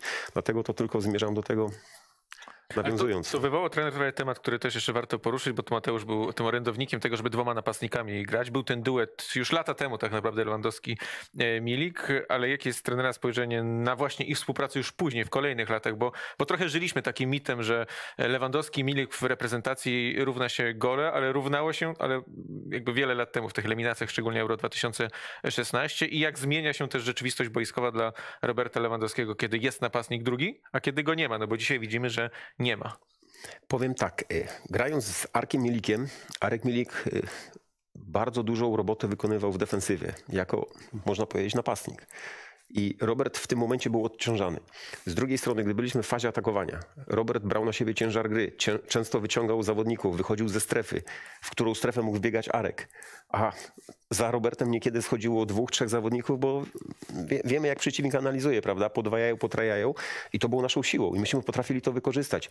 Później były takie wiele meczów reprezentacji za kadencji różnych selekcjonerów, gdzie też oglądając mecze, często było widać właśnie tą frustrację Roberta spowodowaną tym, że jak on wychodził po piłkę, to znowu była dziura tam, gdzie jego nie było. Były takie mecze, prawda? Często jak on nie wyszedł po piłkę, no to tej piłki nie, nie mogli przetransportować zawodnicy do niego i to, to było taką bolączką. I dzisiaj patrząc na ten skład, który my tu widzimy, to ja jestem przekonany, że będziemy grali oskrzydlająco, że będziemy mieli dużo dośrodkowań, z których Robert może czerpać. Bo Robert jak dostanie piłkę, to on potrafi tą sytuację wykorzystać i dlatego wydaje mi się, że selekcjoner się zdecydował na takie ustawienie, bo szuka szansy, żeby odnieść zwycięstwo w tym spotkaniu. Wiadomo, defensywa defensywą, ale ten skład pokazuje, że chcemy grać do przodu, chcemy y, po przyjęciu piłki atakować większą ilością zawodników, a wtedy będziemy mieli tych sytuacji, wykroimy na pewno więcej. Kiedy mówiło się o, o tej grze dwójką napastników, o tym, czy, o, to o czym ty wspominałeś, no to najczęściej Karol Świderski był takim głównym kandydatem do tego, żeby grać w duecie. No i on jest podstawowy na 30 minut. e, Lewandowskim, natomiast e, trenerów zdaniem, i tu e, może Daniel ciebie zapytam, kto jest najbardziej taki kompatybilny z Robertem Lewandowskim? Właśnie Karol Świderski? Ciężko mi powiedzieć. No na pewno ta współpraca z Karolem Świderskim układała się dobrze. Arek Milik miał jakieś swoje problemy jeszcze przed transferem klubowe i, i, wtedy spadł, można powiedzieć, w tej hierarchii gdzieś tam na, na trzecie, być może czwarte miejsce, ale tak jak mówicie, jakaś taka naturalna kolej rzeczy. Gdyby ktoś dzisiaj mnie się zapytał, e, kto ma wyjść obok Roberta, to pewnie też e, chciałbym e, Świderskiego, a, a Milika, który wszedłby w drugiej połowie, ale dla mnie to nie jest istotne, iloma napastnikami gramy, bo możemy grać y, dwójką napastników i, i być we własnym polu karnym. Wszystko zaczyna się od tyłu, jaką zbudujemy strukturę, jak tą piłkę utrzymamy, jak tą piłkę rozegramy i koniec końców, czy ktoś w końcu, czy ktoś tą piłkę dogra tym napastnikom w pole karne, bo to, że oni tam będą, ale piłki nie dostaną, to tym e, bramki nie zdobędziemy. Co, Milikowi brakowało przez wiele lat stabilizacji, kwestia kontuzji, zmiana klubów i tak dalej, więc trudno było oczekiwać, że on będzie pasował idealnie do Lewandowskiego, który jest jednak piłkarzem konstans, prawda? Jednym z najbardziej regularnych napastników na świecie ostatnich lat, w ogóle e, w XXI wieku. Natomiast ja zauważyłem jedną rzecz. Juventus wygrał sześć ostatnich spotkań z rzędu, i przesunął się do e, górnej części tabeli, jest na podium. I Arkadiusz Milik był taką swoistą niespodzianką dla wszystkich zawodników w Juventusie. Od Wojciecha Szczęsnego, z którym rozmawiałem długo i on jednak nie miał kontaktu z Arkiem takiego, powiedziałbym, bliskiego, codziennego. No bo też Arek grał w reprezentacji, nie grał, był powoływany, nie był powoływany. I po pierwsze, był pod wrażeniem takiej dojrzałości Milika i zmiany, jego w ogóle podejścia do zawodu, tego jak obecnie się zachowuje. Dwa, od razu Arkadiusz Milik na treningach dał się poznać jako bardzo inteligentny piłkarz i robiło to wrażenie na obrońcach To Juventusu. tylko wejdę ci słowo. On, to jest kolejny taki piłkarz deprecjonowany trochę przez e, kibiców. E, bo- Taki trochę Grzegorz Krychowiak ataku polskiego. E, Trochę tak, ale to wynika przede wszystkim z tego, że e, to jest kwestia pewnej nieskuteczności, która przebija się do świadomości społecznej, bo jednak ludzie oglądający mecze reprezentacji 6, 7, 8, 9 milionów, a oglądający Juventus, nie wiem, 100-200 tysięcy, to jest wielka przepaść. Ale a propos Arkadiusza Milika, pan trener powiedział ciekawą rzecz na temat jego pracy w defensywie. Ostatni mecz z Lazio to jest kapitalna robota Milika przy jednej z bramek, zdobyty przez Mo- Moise Kena.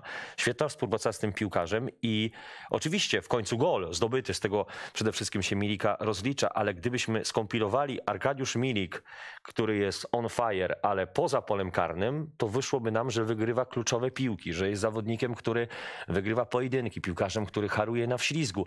I u Milika jest jedna rzecz dobra, jeżeli chodzi o sposób poruszania się on, mam wrażenie, idealnie skanuje e, boisko. To znaczy wie, gdzie być.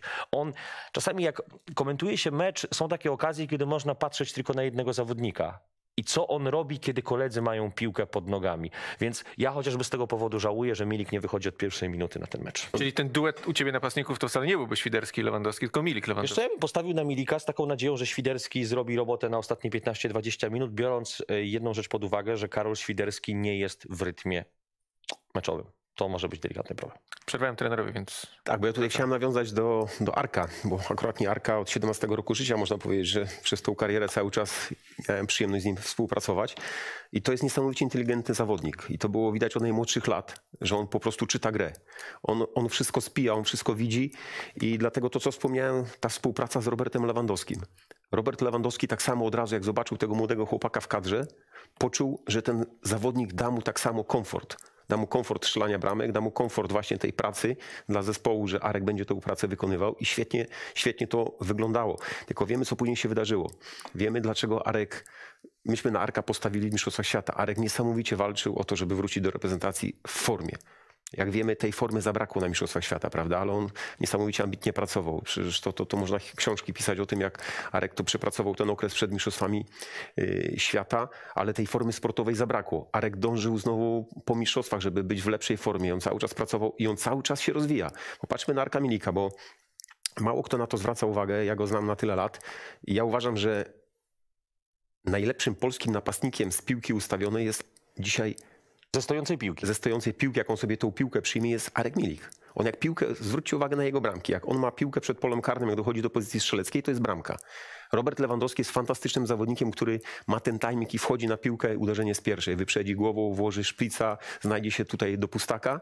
A Arek ma niesamowite ten dar, że on tą piłkę jak ustawia sobie, to z tej lewej nogi ma taką powtarzalność, że to jest niesamowite. Tak, tylko że jest pewien problem. To znaczy Lewandowski powiedział bardzo ciekawe zdanie, jak e, odbierał nagrodę ostatnio dla France Football i zrobili cały magazyn o takich e, rzeczach typowo piłkarskich, czyli piłkarza pytali o proste piłkarskie rzeczy. I Lewandowski powiedział, że zauważył i mam wrażenie, że to też mogły być jakieś słowa w kontekście Arkadiusza Milika, że wielu jego kolegów napastników im miało łatwiejszą sytuację do zdobycia bramki, tym miało większy problem ze strzeleniem gola.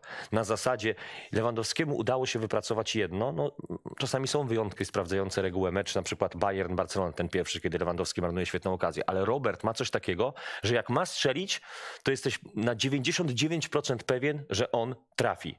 I trudno byłoby z kariery Lewandowskiego zrobić taką kompilację 20 pudeł, po których łapalibyśmy się za głowę. Niestety mam wrażenie, że u Arkadiusza Milika im łatwiejsza sytuacja, tym trudniejsza. trudniejsza.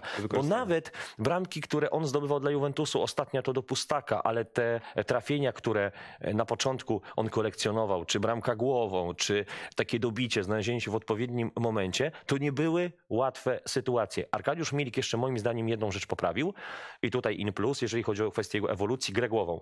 Dlatego, że on naprawdę pod tym kątem w tym sezonie, nie tylko wygranych pojedynków I takich nieuznany gol w końcówce, z kim to było? z Salernitaną. Kiedy Piękne go, uderzenie kiedy go okradli, kiedy zdjął koszulkę, zapominając o tym, że już ma żółtą kartkę. No ale tak się zdarza. Jak ktoś siedzi na kanapie i ocenia piłkarzy, mówi, po cholerę on zdjął tę koszulkę, to twój idol, Olivier Giroud, kilka tygodni później zrobił to samo w Milanie, bo zdobył bramkę w samej końcu. Dlatego ja złego słowa nie powiem. Wiesz, i Adrenalina. wiesz, co było najlepsze? Że on zdjął tę koszulkę i on już wiedział. I podszedł do niego e, arbiter i on tak po włosku Gilles mówi daj, daj, na zasadzie no weź chłopie, nie wyciągaj tej kartki.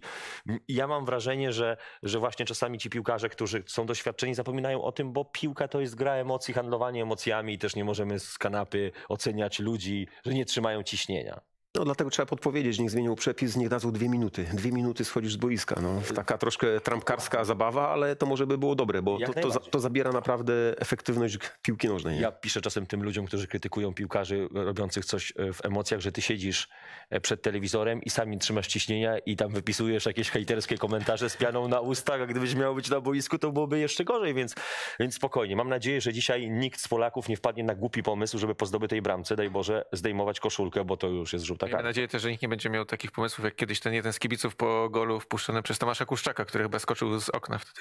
W Teleekspresie go pamiętam, pokazywali. Prawda? No.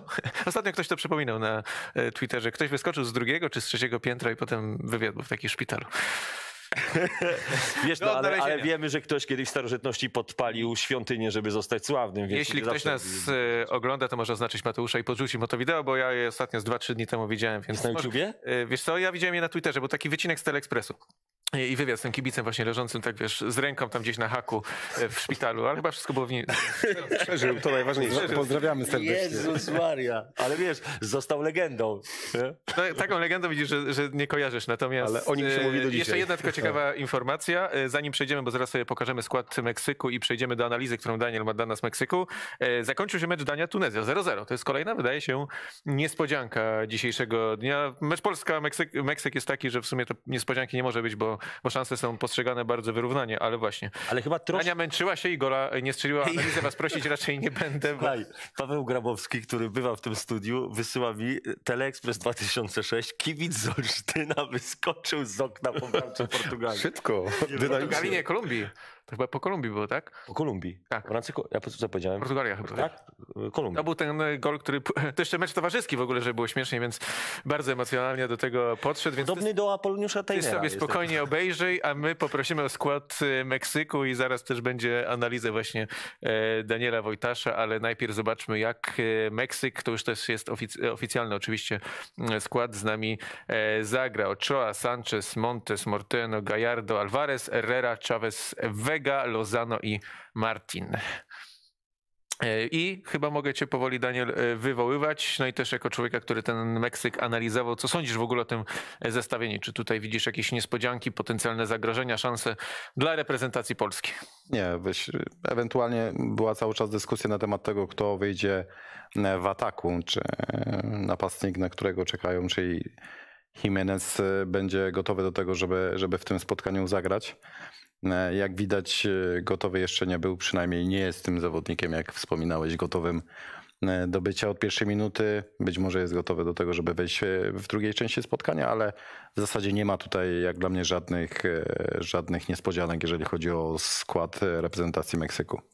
Spoglądam sobie na naszą diodę za, za plecami i tu już jest pierwsza e, sytuacja z meczu e, Meksyk-Szwecja, więc e, gdybym mógł cię poprosić po pierwsze podejście i ładnie nam wszystkie zaprezentowanie, po drugie analizę tego, co chcesz nam pokazać o reprezentacji Meksyku. Tak, rozmawialiśmy o tym i na tym chciałbym się skoncentrować. Mówiliśmy o tym, jak ważna jest gra defensywna na dużych turniejach. W związku z tym ja pokażę, jak Meksyk organizuje tą swoją grę ofensywną, żeby potem w kontekście tego pokazać, e, jak reprezentacja Polski może grać, czy, e, czy gdzie reprezentacja Polski może mieć e, z tą strukturą i z tą grą w ataku Meksyku problemy. Tutaj widzimy ustawienie.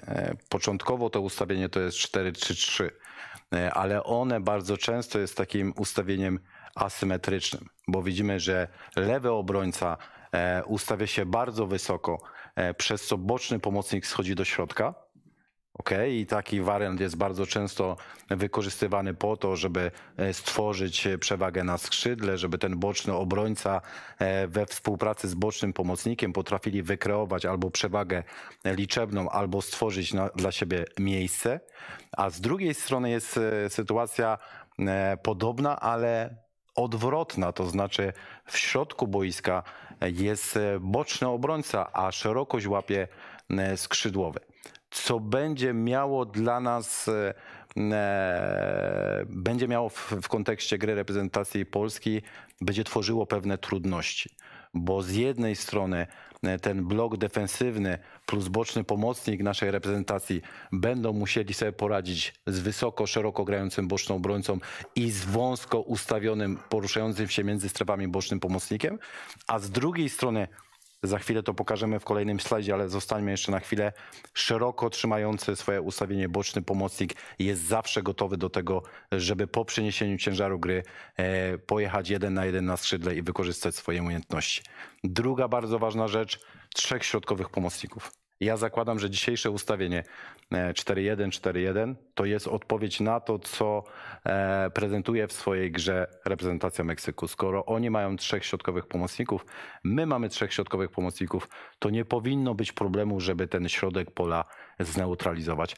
Problem polega na tym, że ci środkowi pomocnicy są bardzo mobilni i bardzo często e, ustawienie e, bocznego obrońcy wysoko powoduje zejście środkowego pomocnika w boczny sektor boiska. No i teraz pytanie, jak nasi pomocnicy będą to rozwiązywali? Bo jeżeli będą szli za nim, to będą otwierali miejsce w środku. Jeżeli będą zostawali w środku, będziemy mieli problem z tym, żeby odebrać piłkę i będziemy poruszać się tylko z lewej na prawą e, i będziemy biegać po prostu bez piłki. I tu kolejny slajd, jak, jakbym poprosił. E, o właśnie. To jest e, to, o czym powiedziałem, czyli z jednej strony tam u góry ekranu widzimy wysoko ustawionego bocznego obrońcę i bocznego pomocnika, w który wszedł do środka. I widzimy, że jest tutaj zagrożenie że grać mogą nam między strefami, bo jest ustawionych trzech zawodników, którzy tylko czekają na tą piłkę między strefy, ale z drugiej strony jest ustawiony szeroko pomocnik, który przy przeniesieniu ciężaru gry podaniem crossowym, zobaczcie jak ma tutaj dużo przestrzeni, może zabrać się z piłką, może grać jeden na jeden. I co ważne, jest tutaj boczny obrońca, który jest ustawiony wąsko, ale który będzie atakował środkiem tą przestrzeń między stoperem a bocznym obrońcą. I to jest y, problem, kto ma tego zawodnika przejmować bo jeżeli będziemy mieć gdzieś tutaj środko, bocznego pomocnika, to on będzie miał bardzo trudno, żeby tyle metrów za nim przebiegać. Być może Krychowiak będzie tym zawodnikiem, który powinien to skrzydło e, i, i, i tą sytuację uszczelniać. Zobaczcie, jeżeli my mamy czterech środkowych obrońców, to będziemy mieli właśnie takie problemy. Okej, okay, my mamy skrzydłowych, jak mówimy, że, że ci skrzydłowi będą wychodzili do kontry, okej, okay, bo jest taka szansa, skoro są dwaj boczni obrońcy wysoko, to tam będą korytarze, ale pytanie, czy my będziemy potrafili sobie poradzić właśnie z tą sytuacją, gdzie z jednej strony musimy być ustawieni wąsko i kompaktowo, ale z drugiej strony otwieramy wtedy mocno skrzydła. A często grają na drugą stronę to samo? Tak, tak, tak. Ok, i teraz pokażemy właśnie przez pryzmat tego, co robi Meksyk, pokażemy sobie, e, pokażemy sobie naszą reprezentację. I to jest e, początek e, meczu z Chile. I zobaczcie, te ustawienie 5-3-2. Co ono powoduje? Że mamy zdecydowanie szerszą linię obrony.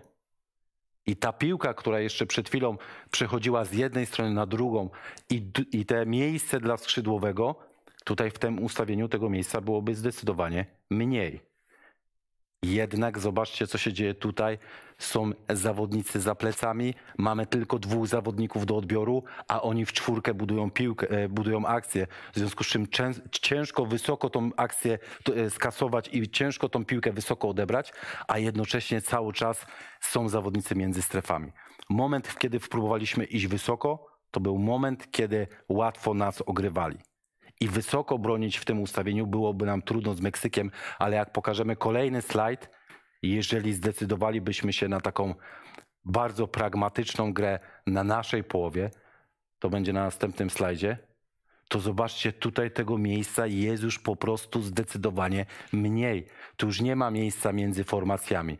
Tu już ciężko stworzyć przewagę na skrzydle, bo mamy jednego, drugiego i być może trzeciego zawodnika, który tutaj przesunie do linii bocznej. Czyli patrząc z perspektywy gry obronnej w kontekście Meksyku, te ustawienie w niskiej obronie 5-3-2 mogłoby nam naprawdę zabezpieczyć naszą bramkę i mogłoby spowodować, że e, Meksykanom byłoby ciężko kreować właśnie te akcje. Ok? I pokażemy sobie następny slajd, bo druga połowa meczu z, e, z Chile to wydaje mi się to ustawienie, które dzisiaj będziemy widzieli od pierwszej połowy. I na grafice tutaj to jest dosłownie piąta sekunda drugiej połowy. Wygląda to naprawdę ok bo jesteśmy ustawieni kompaktowo, bo jesteśmy ustawieni e, blisko siebie e, i w długości, i w szerokości boiska. Jest Krychowiak, który będzie odpowiadał za tych zawodników między strefami, ale, i właśnie pokazujemy kolejny slajd, w nawiązaniu do Meksyku, ale mamy otwarte skrzydła. Zobaczcie, co się dzieje z jednej, co się dzieje z drugiej strony. I jeżeli my w bloku czteroosobowym, który jest o jednego zawodnika krótszy, będziemy starali się trzymać wąskie ustawienie, to jeden i drugi sektor boczny będzie otwarty. Piłka dostanie się tam, gdzie przeciwnik ma najlepszych zawodników. Jak Losano. Otóż to. I okej, okay, my zamkniemy drogę przeciwnikowi centralnym sektorem boiska. My będziemy kontrolowali centralny sektor boiska, ale ta piłka trafi w boczny sektor, gdzie jest dużo miejsca, gdzie jest dużo jakości. To wrzuca trzeba... dodatkową, jeszcze dodatkowe obowiązki o odpowiedzialność na skrzydłowych, żeby to oni zabezpieczali te strefy? I jak pokażemy o kolejny slajd, to jest coś, co będzie twoją odpowiedzią. Bo e, im wężej będzie ustawiona nasza linia obrony, tym więcej miejsca na skrzydłach. I w jaki sposób można sobie z tym poradzić? Tak jak e, momentami radziliśmy sobie z Chile, to nasi boczni pomocnicy z jednej i z drugiej strony pełnili rolę, obrońców.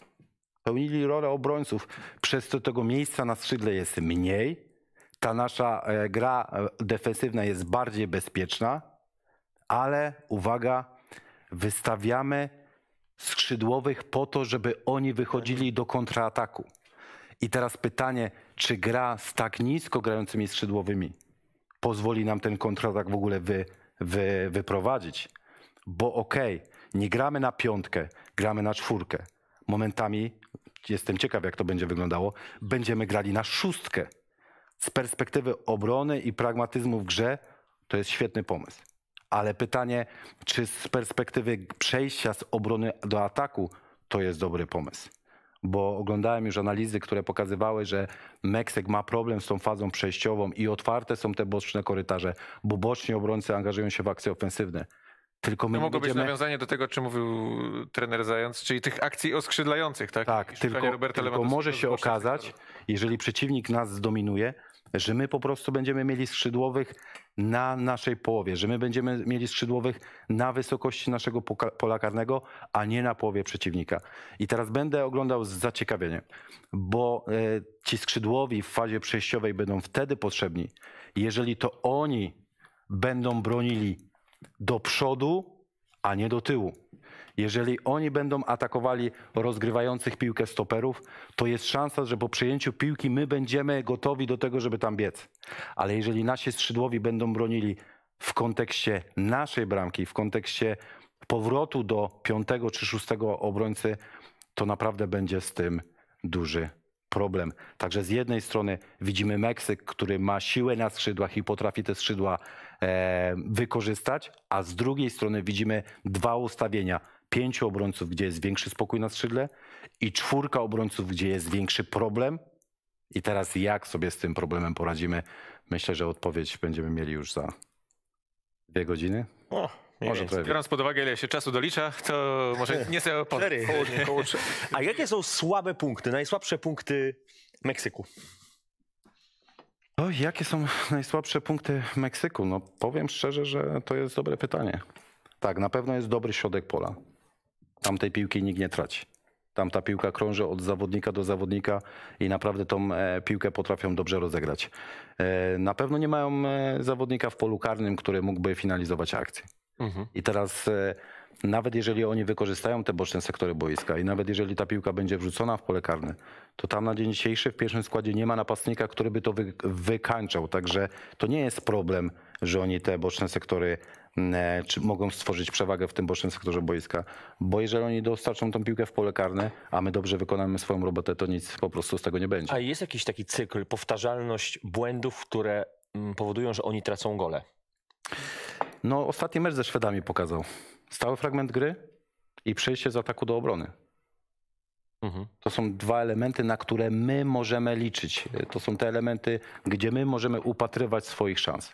Jeżeli my będziemy dobrze zorganizowani po przejęciu piłki i jeżeli my będziemy skuteczni pod bramką przeciwnika w momentach, kiedy będziemy ustawiali sobie piłkę na przykład w narożniku boiska, to to są te momenty, gdzie możemy liczyć na bramkę. To mi się mm, przypomina, jak chyba e, Łukasz Zwoliński a propos swojej przeszłości z Czesławem Michniewiczem w roli trenera opowiadał, że gdzieś tam podpatrzył e, trener Michniewicz w jakiejś, nie wiem, lidze estońskiej czy łotewskiej wykonanie stałego fragmentu gry, który przynosi bramkę. I tam pyta się, kto idzie na zamknięcie, bo tak to wykonamy i padnie gol, bo oni tego na pewno nie kumają. I właśnie Łukasz Zwoliński mówi, no i tak zdobyliśmy bramkę i to jest takie potwierdzenie, że cholera, ten pomysł jednak był dobry, choć z drugiej strony też nie można wkładać do głów 33 wykonania stałych fragmentów, jak Mauricio Sari, który był wyśmiewany, że jest mister 33, czyli że 33 opcje wykonywania stałych fragmentów i z całą pewnością już 6, 7, 8, 9 piłkarze nie pamiętają. Natomiast te stałe fragmenty, a propos tego, co pan trener mówił, 25%, tak? Bramek po stałych fragmentach za kadencji Adama Nawałki?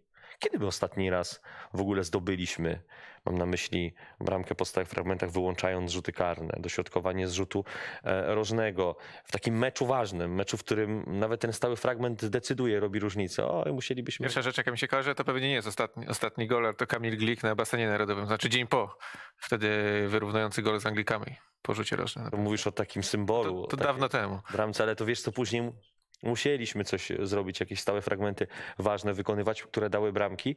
Natomiast e, wiesz, no to jest kwestia e, bardzo interesująca z tej perspektywy stałych fragmentów i strzelania goli, bo my mamy ludzi ku temu. Ja zwracam uwagę na Kiwiora, który jest bardzo ofensywnym obrońcą, także wchodzącym w pole karne przy stałych fragmentach, albo nawet wykonującym rzuty rożne i rzuty wolne w drużynie Specji. Tu pan trener mówił o takiej ciekawej rzeczy, że Robert Lewandowski obserwuje i sobie em, przysposabia dobrze grającego piłkarza, to znaczy chce, żeby on był w kadrze.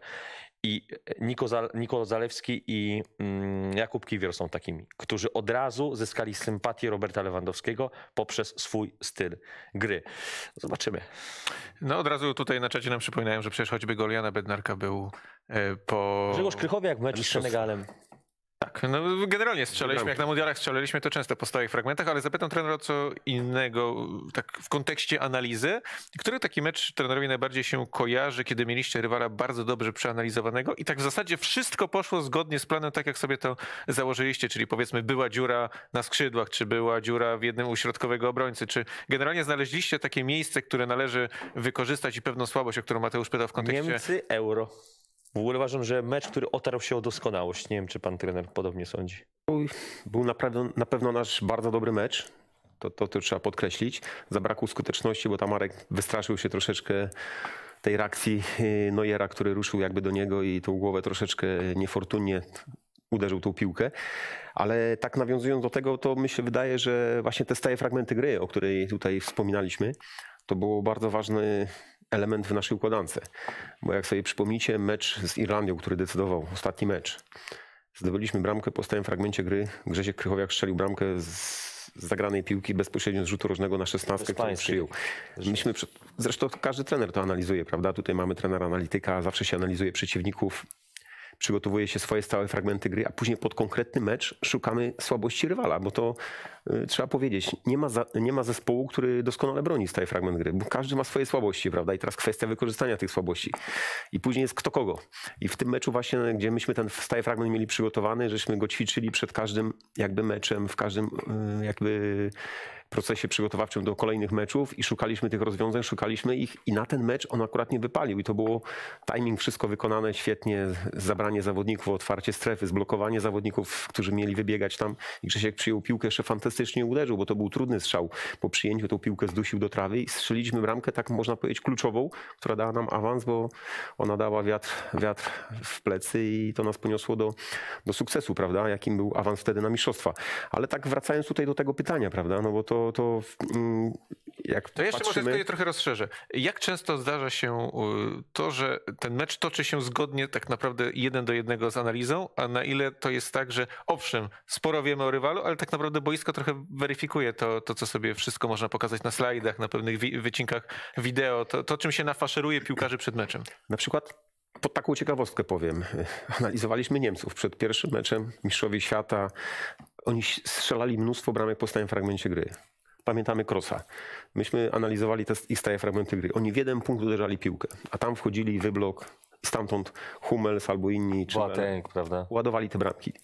Wpadliśmy na pomysł tutaj, wiadomo, analiza, burza mózgów, co zrobić. Pamiętamy, kto grał w tym meczu? Na? Szukała. Szukała. Postawiliśmy szukałkę, który ma iść w to miejsce, ustawiliśmy go w tej strefie i on kasował wszystko. I oni nam nie zagrozili po stałym fragmencie. Bo oni mieli jeden schemat, który ładowali tam i to im, to im dawało bramki. W tym meczu myśmy to skasowali i praktycznie wyeliminowa- wyeliminowaliśmy ich największy atut. Bo oni, jak popatrzyliśmy na Niemców, oni zdobywali tytuł, oni wygrywali mecze, ale ustawiali sobie mecze z stałym fragmentem gry. Jak przeciwnik się otwierał, wtedy im było łatwiej wykorzystać swoje atuty piłkarskie, prawda? Dlatego stały fragment gry to jest klucz. W ofensywie, jak i w defensywie. Jak się dobrze wybronisz, masz szansę oddać bramkę, ale jak znowu tą bramkę stracisz po stałym fragmencie gry, to cierpisz. Ja mam takie pytanie, bo Adam Nawałka, wiadomo, uchodzi za dyktatora i najbardziej poszkodowani byli ludzie w jego sztabie, to znaczy wy musieliście pracować bardzo dużo, wiadomo, mieliście też satysfakcję z tego i tak dalej. Natomiast czy on oczekiwał od was, żebyście przygotowali gdzie są problemy u tego konkretnego rywala i że to było wymagane, pan musiał to robić na zasadzie szukania słabych punktów przeciwnika? Oczywiście, no to to jest zawsze taka praca w sztabie. Po to są analitycy, po to są trenerzy, asystenci, prawda? Każdy miał swoją, swoją robotę, bo to myśmy na każdego rywala mieli przydzielonego trenera. Trener stricte przygotował się pod to. Jeszcze mieliśmy drugich trenerów, jak był Marcin Dorna, y, Darek Pasieka, którzy latali i na żywo oglądali tych przeciwników, prawda? Podczas mistrzostw i dawali jeszcze dodatkowe jakieś wskazówki. A każdy z trenerów, który był asystentem w sztabie, miał danego rywala i on na nim pracował, a później burza mózgu, wszyscy siedzieliśmy i jeszcze szukaliśmy tam dodatkowych rozwiązań, szukaliśmy strategii na ten mecz, bo to, to zawsze ta praca to była bardzo, bardzo długa, wytężona praca i później tak samo analiza po meczu, bo jest następny mecz i to jest każdy trening analizowany, przygotowanie pewnych schematów pod mecz, prawda? Później analiza wideo tego treningu, co funkcjonowało, co jeszcze można skorygować, prawda? Bo to nieraz krótki wycinek dwóch, trzech fragmentów z treningu daje ci bardzo dużo. Bo to później widzimy, pamiętajmy o tym, że piłkarze to są wzrokowcy. Tutaj trener analityk może to potwierdzić, prawda? Ja też byłem wzrokowcem i myślę, że 90% piłkarzy to jest wzrokowcy.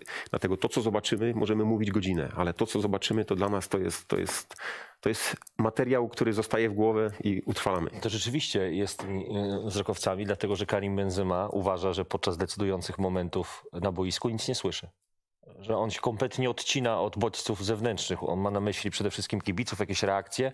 On mówi, że są takie momenty czarne dziury, kiedy on wykonuje jakieś rzeczy automatycznie, jakby stadion był kompletnie cichy. Zresztą ciekawe rzeczy mówił na temat takiego szukania porozumienia. Mam nadzieję, że między Zielińskim i Lewandowskim coś takiego zafunkcjonuje dobrze. To znaczy, jak się piłkarze rozumieją i znają się na wylot, i tu będzie moim zdaniem bardzo duża siła reprezentacji Niemiec. Panowie, tam mamy sześciu piłkarzy, którzy są podstawowymi zawodnikami Bayernu Monachium i grają niemal wszystko, więc oni mogą być e, mocną drużyną. To mówi Benzema z Modriciem, to wystarczy, że ja spojrzę w jego oczy i ja już wiem, gdzie on chce piłkę zagrać i to robi różnicę, więc zobaczymy, jak to będzie z Zielińskim i z Lewandowskim. Mam nadzieję, że to będzie wielki mecz. Y, Ziela, wiesz, co, czasami mówią Włosi takie, mają fajne określenie, że piłkarz się beatyfikuje podczas jakiegoś spotkania i że to będzie taka, wiesz, beatyfikacja Piotra Zielińskiego na kadry. Dlatego wspomniałeś tutaj o ważnej rzeczy i jak popatrzymy na historię polskiej piłki, nie tylko polskiej piłki, dlatego trenerzy zawsze dobierają, myśmy też na tym bazowali, nie ma co ukrywać, zawodników, którzy grają w klubach, bo to są pewne automatyzmy w działaniach. Oni się rozumieją bez słów. Kuba Błaszczykowski, Robert y, Lewandowski i Piszczu. No to przecież to, to była siła naszej reprezentacji. Jak oni byli zdrowi, jak oni byli w formie, to byli nie, nie do podważenia zawodnicy. Oni mogliby do dzisiaj grać, gdyby zdrowie im jeszcze pozwoliło, pozwoliło prawda? I oni by dalej byli siłą tej reprezentacji. Okej, okay. tak. lata uciekają, ale doświadczenie nie ucieka. Jeżeli jesteś zdrowy, to nie ma problemu, że ty masz 36, 38. Jak dajesz reprezentacji, to, to możesz w niej grać dalej, prawda? Oczywiście, tym bardziej, że dzisiaj wiek się przesuwa i wielu zawodników, którzy kiedyś rezygnowali z reprezentacji, żeby grać w klubach, jak na przykład Thierry Henry, to dzisiaj nie mają takich, powiedziałbym, następców, bo jednak gra w reprezentacji chociażby Cristiano Ronaldo jest tego doskonałym przykładem, nie mówi sobie dość, prawda? Chce grać w tej kadrze jak najdłużej. Natomiast co do jeszcze e, takich zawodników występujących w jednych drużynach, to mi się przypomina sukces roku 82, gdzie to było zbudowane na fundamencie Widzewa. Od bramkarza przez obrońcę, przez drugą linię, przez genialnego Smolarka i Bońka. No szkoda, że nie mamy powiedzmy w Juventusie to może nie, bo oni tam ogólnie zaczęli słabo, ale gdybyśmy mieli w Napoli bramkarza, obrońcę, pomocnika i napastnika. Mieliśmy, Arek, Arek z Piotrkiem, prawda? Też bazowaliśmy na tym, tylko że Arek akurat nie w tym czasie miał ciężką kontuzję, prawda? On wracał po, ty, po tym drugim krzyżowym i to dla niego było dużym problemem, że on do tej dyspozycji musi wracać i on dzisiaj zaczyna znowu czerpać, bo pamiętajmy o tym, że jak to mówią, masz trzy miesiące przerwy, trzy miesiące musisz grać, żeby wrócić do dyspozycji, a później dopiero wracasz na szczyt formy.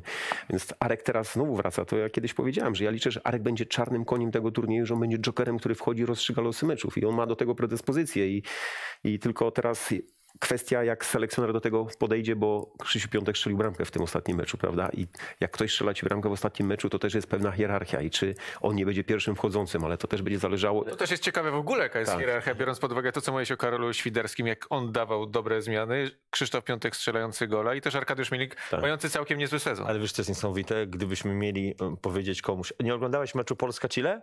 Piątek strzelił gola, wyobraź sobie bramkę, to myślę, że 99% ludzi wyobraziłoby sobie tego gola w, takim, e, w takiej formule, w jakiej e, on tego gola strzelił. Natomiast ja mam pytanie do pana trenera. Jak zagospodarować Piotra Zielińskiego? Bo mam wrażenie, że Adam Nawałka wchodząc do reprezentacji, to miał pierwsze powołanie Co zrobić, żeby Robert Lewandowski strzelał jak najwięcej goli po trudnym wcześniejszym okresie? Pamiętamy, jemu nie za dobrze szło strzelanie bramek Nie pod, szło, pod wodzą y, zarówno Waldemara Fornalika, jak i, jak i trenera Smudy. Natomiast y, wydaje mi się, że każdy późniejszy selekcjoner stawał przed takim bardzo trudnym zadaniem. Co zrobić, żeby wydobyć demona Zielińskiego? Jak go zagospodarować? Myśmy tutaj już poruszali ten temat w poprzednim studiu y, i czego my oczekujemy od Piotka Zielińskiego, prawda? Ja? Czego oczekuję? Tak, bo, No, bo że ustrzeli trzy gole, że będzie miał trzy asysty w trakcie meczu. Wszystkiego, co właśnie, dlatego to tak y, pół żartem, pół serio. Y, My widzimy, jak gra reprezentacja, jak Piotrek jest na boisku, jak Piotrka nie ma. I dlatego już mamy prostą odpowiedź. To jest zupełnie inna reprezentacja. Tylko, że my mamy wymagania od Piotka, żeby on właśnie wziął, przedryblował dwóch, trzech, strzelił bramkę, za chwilę dał następną asystę, następną asystę. To jest jedna, dwie akcje w meczu, które mogą zdecydować o losach spotkania, prawda? To nie jest klub, że my stwarzamy tam dużo sytuacji. Na mistrzostwach, tak jak sami widzimy, to są dwie, trzy sytuacje w meczu. Pamiętamy nasze mistrzostwa świata, mecz z Senegalem, pamiętamy mecz z Japonią, pamiętamy mecz z Kolumbią. To są jedne, dwie sytuacje w meczu i teraz kwestia, czy ty je trafisz. Na mistrzostwach myśmy te y, Europy, myśmy te sytuacje trafiali, otwieraliśmy mecze. Tam niestety nam się to nie udało. I to jest później, jak wgonisz wynik, to jest zupełnie inny mecz. Dlatego tutaj Piotrek Zieliński jest kluczową postacią tej reprezentacji. Nic nie ujmując Robertowi Lewandowskiemu, bo wiadomo, że jak Robert jest na boisku, mamy Piotrka, to my mamy zdecydowanie więcej możliwości, więcej, więcej szans na pewno wykreujemy, prawda? Bo to są kreatywni zawodnicy, którzy też się rozumieją bez słów.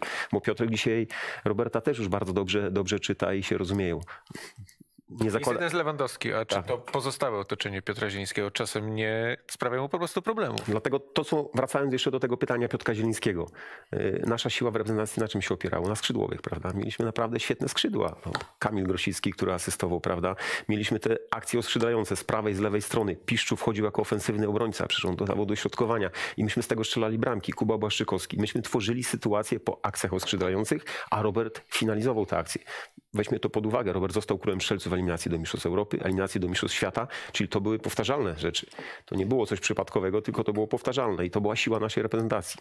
E, Wspominaliście tutaj o tych meczach, e, które rozgrywał i Meksyk i przede wszystkim Polacy w ostatnich miesiącach. Zobaczmy sobie, jak wyglądały właśnie ostatnie pięć meczów w Meksyku, a także reprezentacji Polski. To są ostatnie mecze reprezentacji e, Polski. Zwycięstwo z Chile, zwycięstwo z Walią. Takie no, dwa zwycięstwa, których pewnie dzisiaj, którym byśmy nie pogardzili, nawet mimo, że nie były to najbardziej efektowne mecze, to Wiesz co, które myślę, że nie pogardziłbym też takim zwycięstwem, jakie odniosła Holandia po naprawdę koszmarnym meczu do oglądania, ale końcówką skuteczną, prawda? Te dwa wyniki pokazują, można powiedzieć, kierunek, e, w którym idziemy. Bo zaraz po meczu wygranym z e, bodajże z Chile i zawodnicy i trenerzy wypowiadali się o tym, że przyzwyczajcie się do tego, że my nie musimy grać efektownie. My musimy grać efektywnie. I tak naprawdę e, nasza reprezentacja w przeciągu ostatnich dziewięciu spotkań wygrała cztery mecze, z których trzy zagraliśmy na zero z tyłu. I jak graliśmy na zero z tyłu, to wygrywaliśmy mecze. Jeden mecz był taki bodajże z Walijczykami, gdzie straciliśmy bramkę i wygraliśmy go 2 do 1, ale my potrafimy wygrywać mecze, kiedy gramy na zero z tyłu, co jest oczywiście e, e, normalne w futbolu, że jeżeli nie tracisz, to już jesteś, można powiedzieć, jedną nogą e, w domu. I na tym mam wrażenie, że dzisiaj nam najbardziej zależy, żeby pomyśleć o skutecznej obronie. Tutaj widzimy z kolei ostatnie pięć meczów reprezentacji Meksyku i tutaj też taka e, ciekawostka. 10 meczów z rzędu przegrali przeciwko rywalom z top 30 rankingu FIFA, więc e, Jako żywo przypomina to e, przygotowania do Euro 2012, kiedy reprezentacja Polski nie wygrała żadnego spotkania z drużyną z pierwszej piętnastki czy pierwszej dwudziestki rankingu UEFA, ani Portugalia, ani pamiętasz Francja, ani Włosi, tam z tymi, Francja to była taka Francja... Laurent Blanc tutaj odbudował, ale. Nie no, oni tutaj grali na Legii chyba. bo na Legii przegraliśmy 0 do 1. Ale to był taki skład chyba tam Francuzów mocno... Argentyn, Argentyna. A to Argentyna, tak? Argentyny, pamiętasz, był chyba z y, takim zawodnikiem Legii Cabralem, on się Cabral nazywał, on chyba w tamtym meczu, nie wiem czy wystąpił, ale w każdym razie był w tamtym składzie.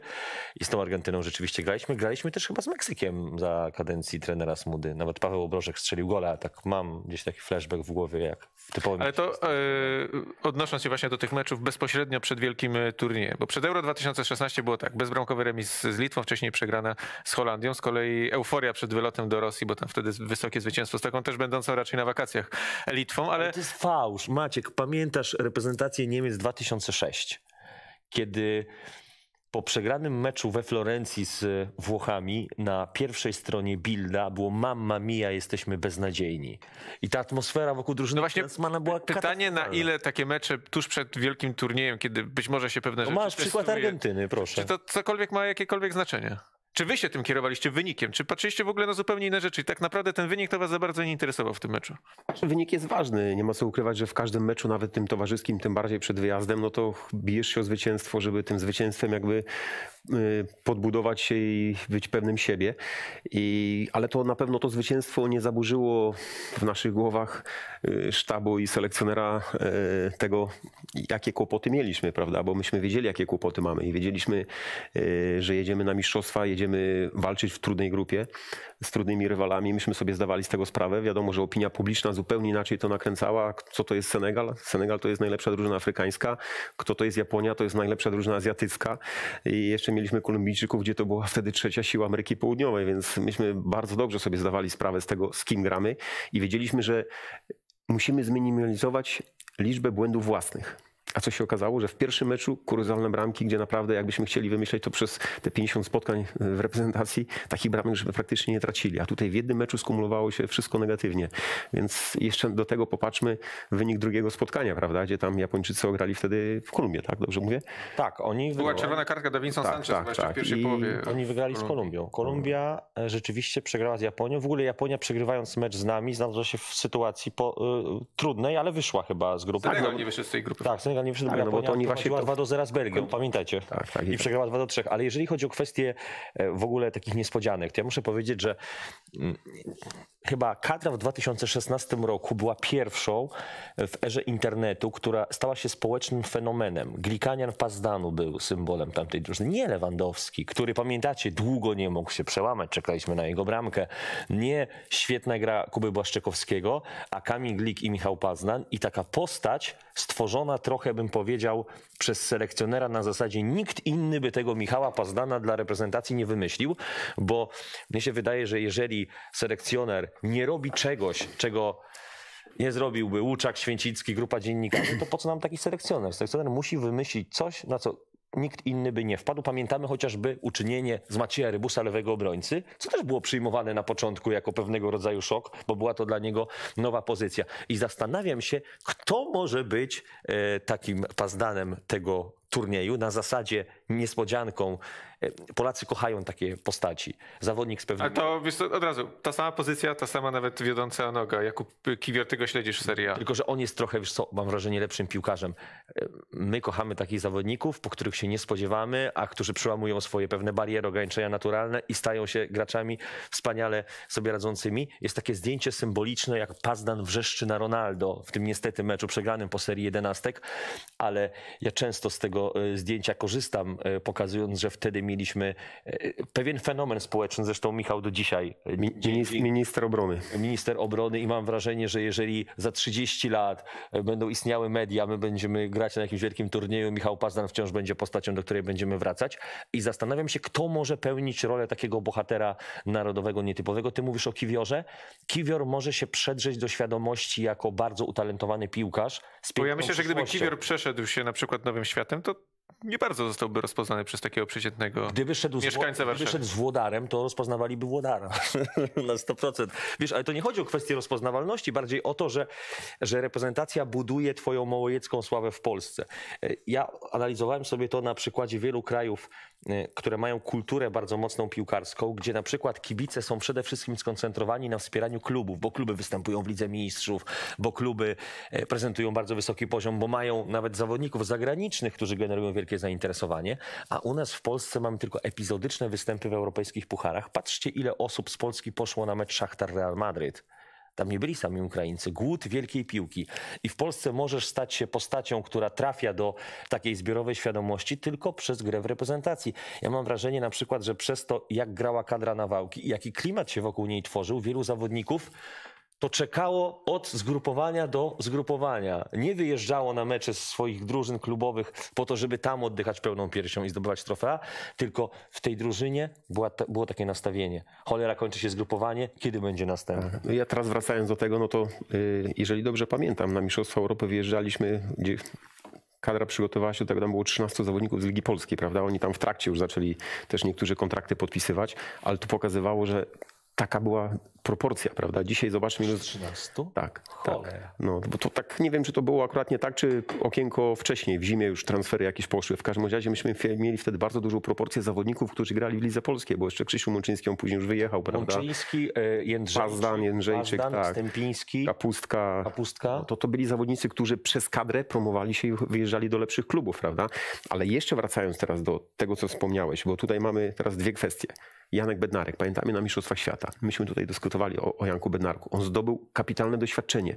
Myśmy liczyli, że ten Janek Bednarek za te 4 lata dzisiaj będzie liderem tej reprezentacji. Nie? Życie pokazało, że te 4 lata, mimo tego, że Janek wskoczył do Premier League, grał regularnie. Teraz troszeczkę w, w trudnym momencie akurat nie są mistrzostwa, bo być może, że za pół roku, jakby były te mistrzostwa, to Janek Bednarek byłby liderem tej reprezentacji, bo on za chwilę on skoczy do grania, będzie regularnie grał w tej Aston Villa, prawda? On się tam na razie adoptuje, ale on to doświadczenie zdobył 4 lata temu. Dzisiaj to doświadczenie będzie zdobywał Kuba Kiwior. Kwestia, czy on już jest w stanie dzisiaj udźwignąć, bo wiemy, że Jankowi wtedy nie za bardzo poszło to, że nie udźwignął tego ciężaru tych mistrzostw, prawda? Zespół nie był w takiej optymalnej dyspozycji. Później wiadomo, jak tracisz bramki, wszystko idzie w linię obrony, bo to zawsze jest, jak, jak stracisz, przegrasz mecz, no to krytykuje się linię obrony, prawda? Tam nie było Kamila Glika. Ja mam wrażenie, że Kamil Glik przez lata, różne zawirowania, zawsze pokazywał, że reprezentacja to jest coś innego. To znaczy, co by się nie działo w moim życiu i prywatnym, i zawodowym, to ja w reprezentacji jestem Gotowość. zupełnie inny. Jakby trafił do kotła Panoramiksa i zawsze ten Kamil Glik lepiej bądź gorzej, ale jednak w reprezentacji dawał radę i tam brakowało kogoś takiego. To znaczy człowieka, który nie pęka, bo gdyby Kamil Glik miał dzisiaj wyjść na finał Mistrzostw Świata, no to by wyszedł.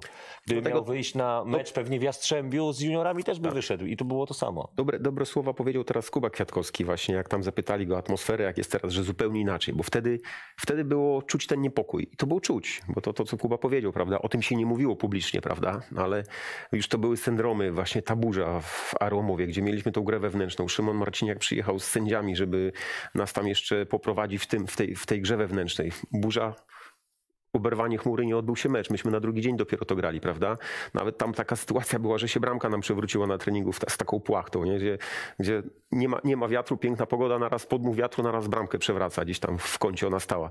I taki niepokój sytuacja z Kamilem Glikiem, no bo to mało kto o tym wie.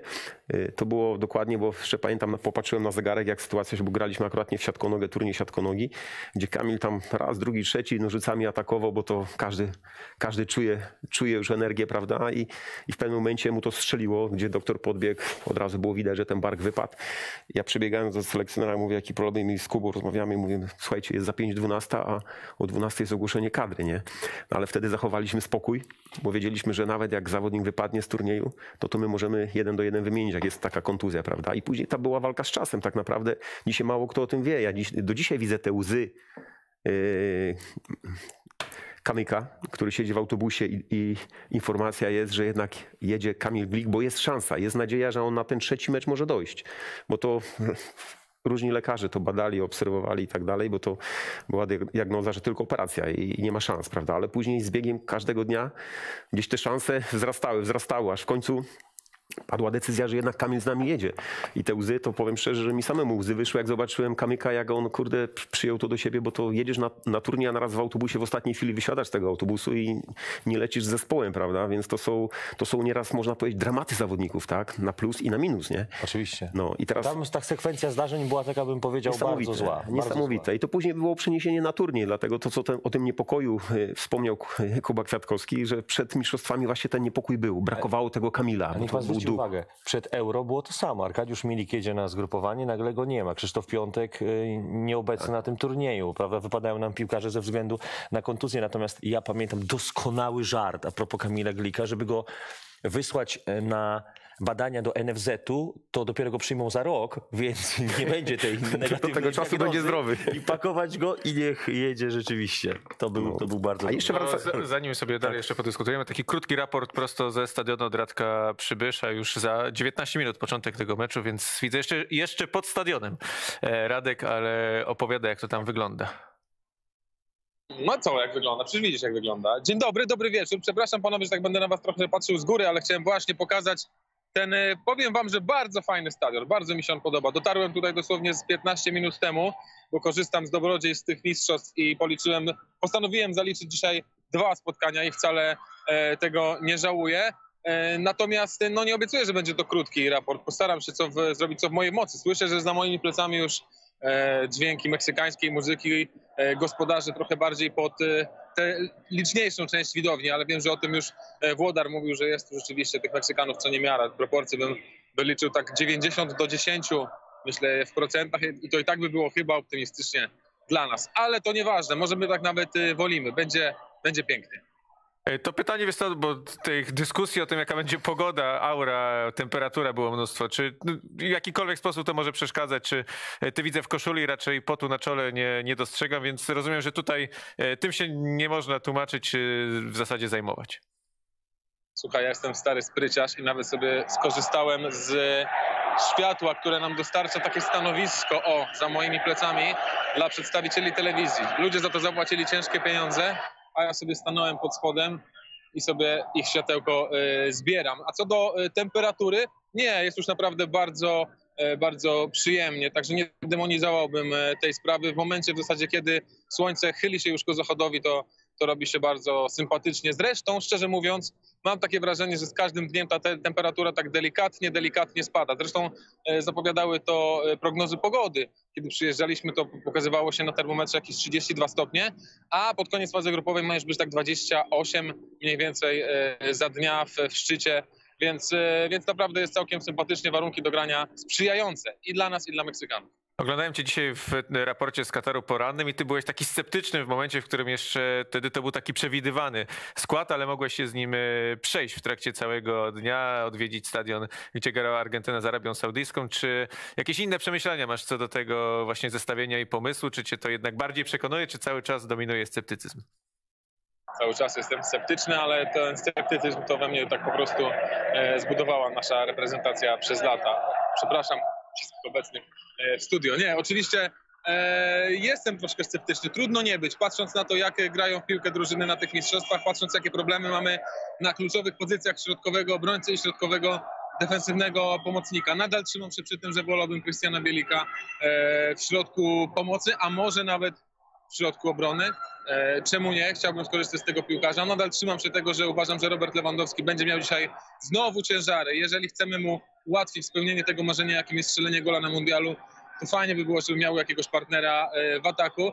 No ale cóż, być może mecz tak się potoczy, że będzie miał, e, będziemy mieli okazję takie ustawienie też zobaczyć. Jestem sceptyczny, choćby ze względu na problemy też troszeczkę fizyczne, jakie ma e, Kamil Glik, dlatego spodziewam się, że zagramy bardzo głęboko cofniętą linią e, defensywną i będziemy czekać po prostu bardzo cierpliwie na swoją szansę. Nie, nie łudziłbym się mimo tego, e, wydawałoby się na papierze ofensywnego nastawienia e, taktycznego naszej drużyny, że będziemy chcieli tutaj chcieć to pewnie, pewnie będziemy, ale że będziemy potrafili na dłużej przytrzymać piłkę. Skoro sami nasi piłkarze deklarują, że Meksyk operuje nią trzy razy lepiej niż reprezentacja Chile, a już z Chilijczykami mieliśmy z tym e, e, duże problemy. Dlatego niezależnie od ustawienia, które zresztą może być wbrew pozorom dużo bardziej defensywne niż się na ten moment e, wydaje, to nadal uważam, że będziemy raczej przyglądać się, próbować przerywać i szukać swoich okazji po kontratakach. Nie spodziewam się nawet, że zagramy tak wysoko ustawioną linię obrony jak Arabia Saudyjska dzisiaj z Argentyną. Co to, co to, to nie, bynajmniej. Natomiast cieszy mnie, że selekcjoner zgodnie z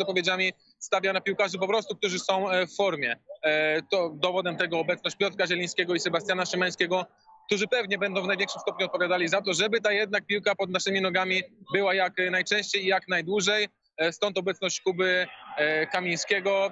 Dlatego jakieś przesłanki do optymizmu są, natomiast jest on bardzo, bardzo, bardzo umiarkowany.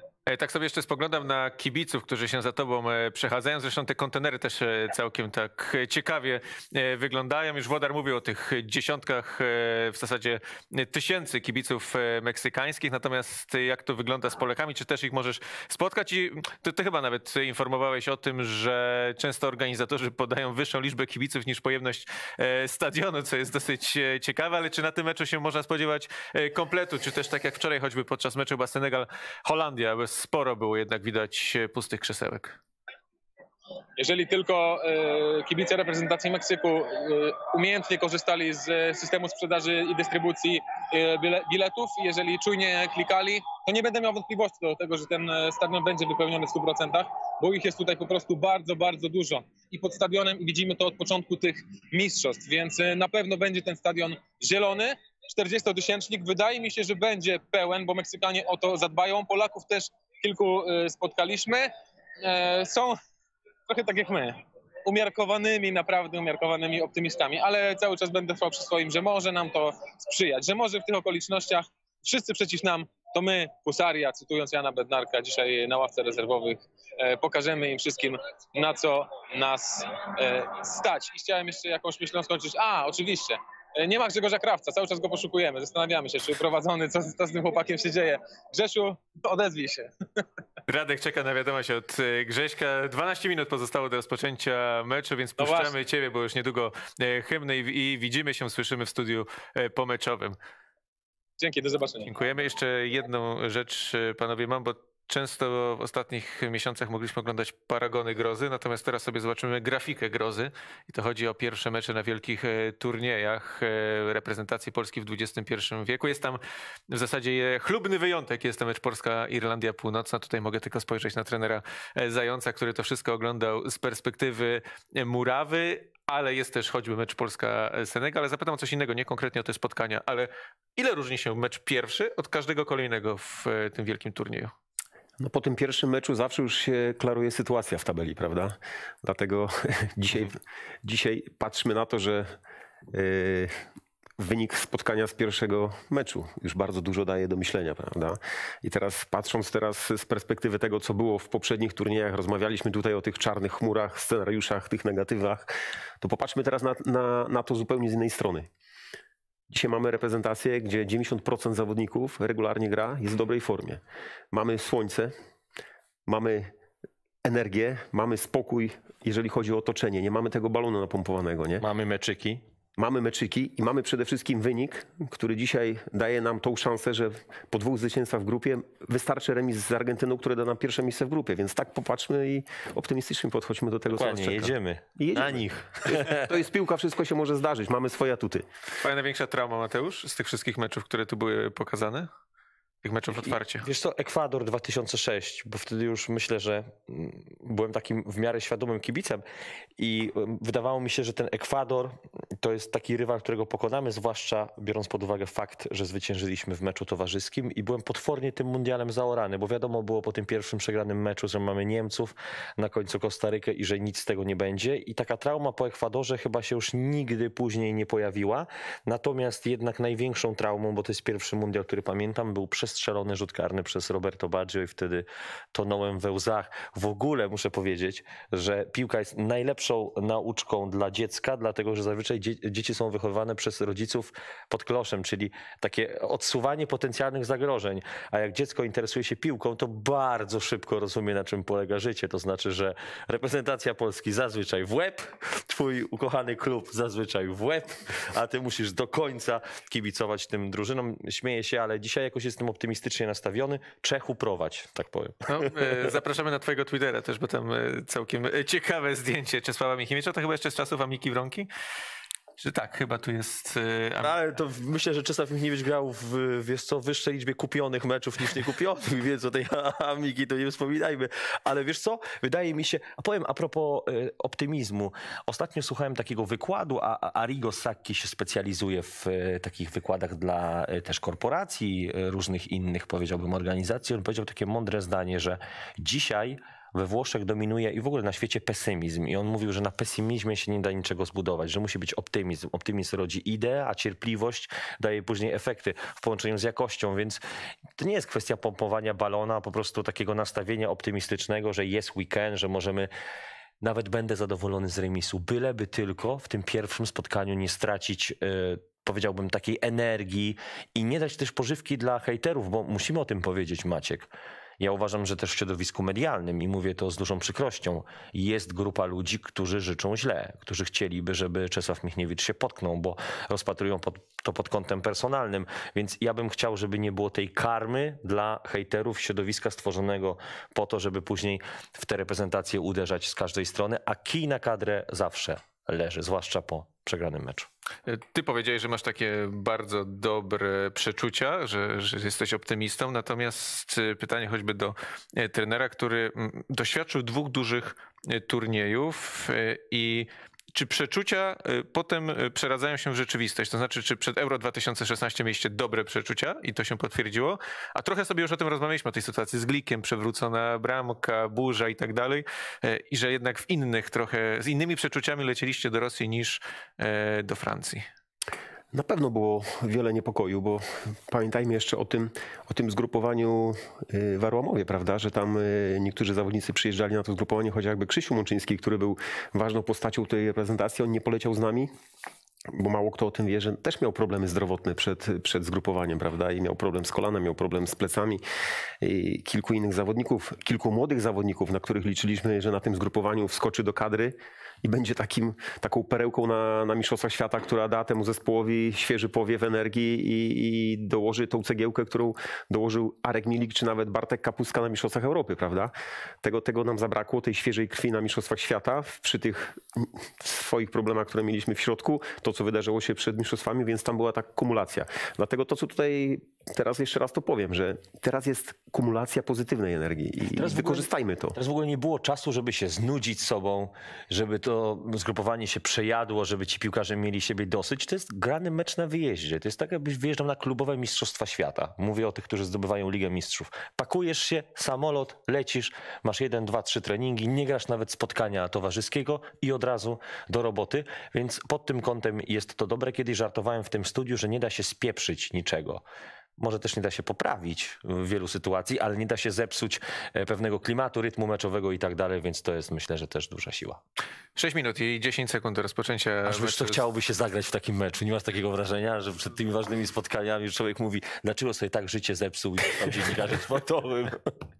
20 na plecach mógłbyś wybiec dzisiaj na stadionie 974 chyba tak się ten stadion nazywał, tak, bo to kierunkowy do Ale wiesz co, był Kataru. taki stadion niestety niefartowny dla nas w Klagenfurcie. Ja później byłem na tym obiekcie.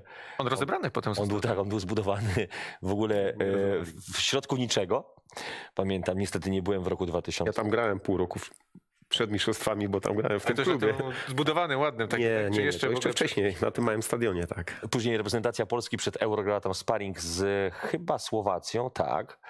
E, I chyba wygraliśmy po golu Perkisa, który strzelił gola i miał problemy z ręką i tak chciał po prostu zrzucić, wiesz, wszystkie te swoje mm, problemy tak na zasadzie pewnego wudu. On nawet o tym powiedział. I jak jechałem ten do Klagenfurtu, to mówię, no dobra, Austria piękna, prawda, i tak dalej. Cud- Cudowny kraj, jeżeli chodzi o infrastrukturę, drogi, w ogóle klimat. Nie wiem, gdzie jest ten stadion. I on był tak zbudowany, bardzo rozmyślnie, żeby można było go po prostu jak klocki Lego zdemontować. I opowiedział mi człowiek pracujący na tym stadionie, a wiesz co, tam pół roku temu wypożyczaliśmy trybunę do Chin, bo można było zdjąć trybunę, wywieźć gdzieś do jakiegoś miejsca i po prostu stworzyć jakiś event na zasadzie krótkotrwałej. I ten stadion, ten wiesz, ten kartonowy, czy też mm, konse- Blaszany taki. blaszany taki, to nie wiem, czy to jest dobry omen, ale już nie wywołujmy jakichś duchów, prawda? Bo... No, ciekawie wyglądały te ko- kontenery za Radkiem, który e, nadawał jeszcze... Ale Radek jakiś taki bardzo entuzjastyczny był, nie wiem, czy, czy No, zauważyłeś. tak to w ogóle jest optymista. To często do nas rano przyjdzie, pośpiewa, zatańczy i generalnie to jest człowiek zawsze uśmiechnięty, więc ten jego entuzjazm mnie akurat nie dziwi, chociaż jak mówił o składzie, no to widzisz, był raczej taki bardziej e, sceptyczny. Czy też, Daniel, masz takie e, pozytywny, pozytywny feeling, jak to się mówi ładnie?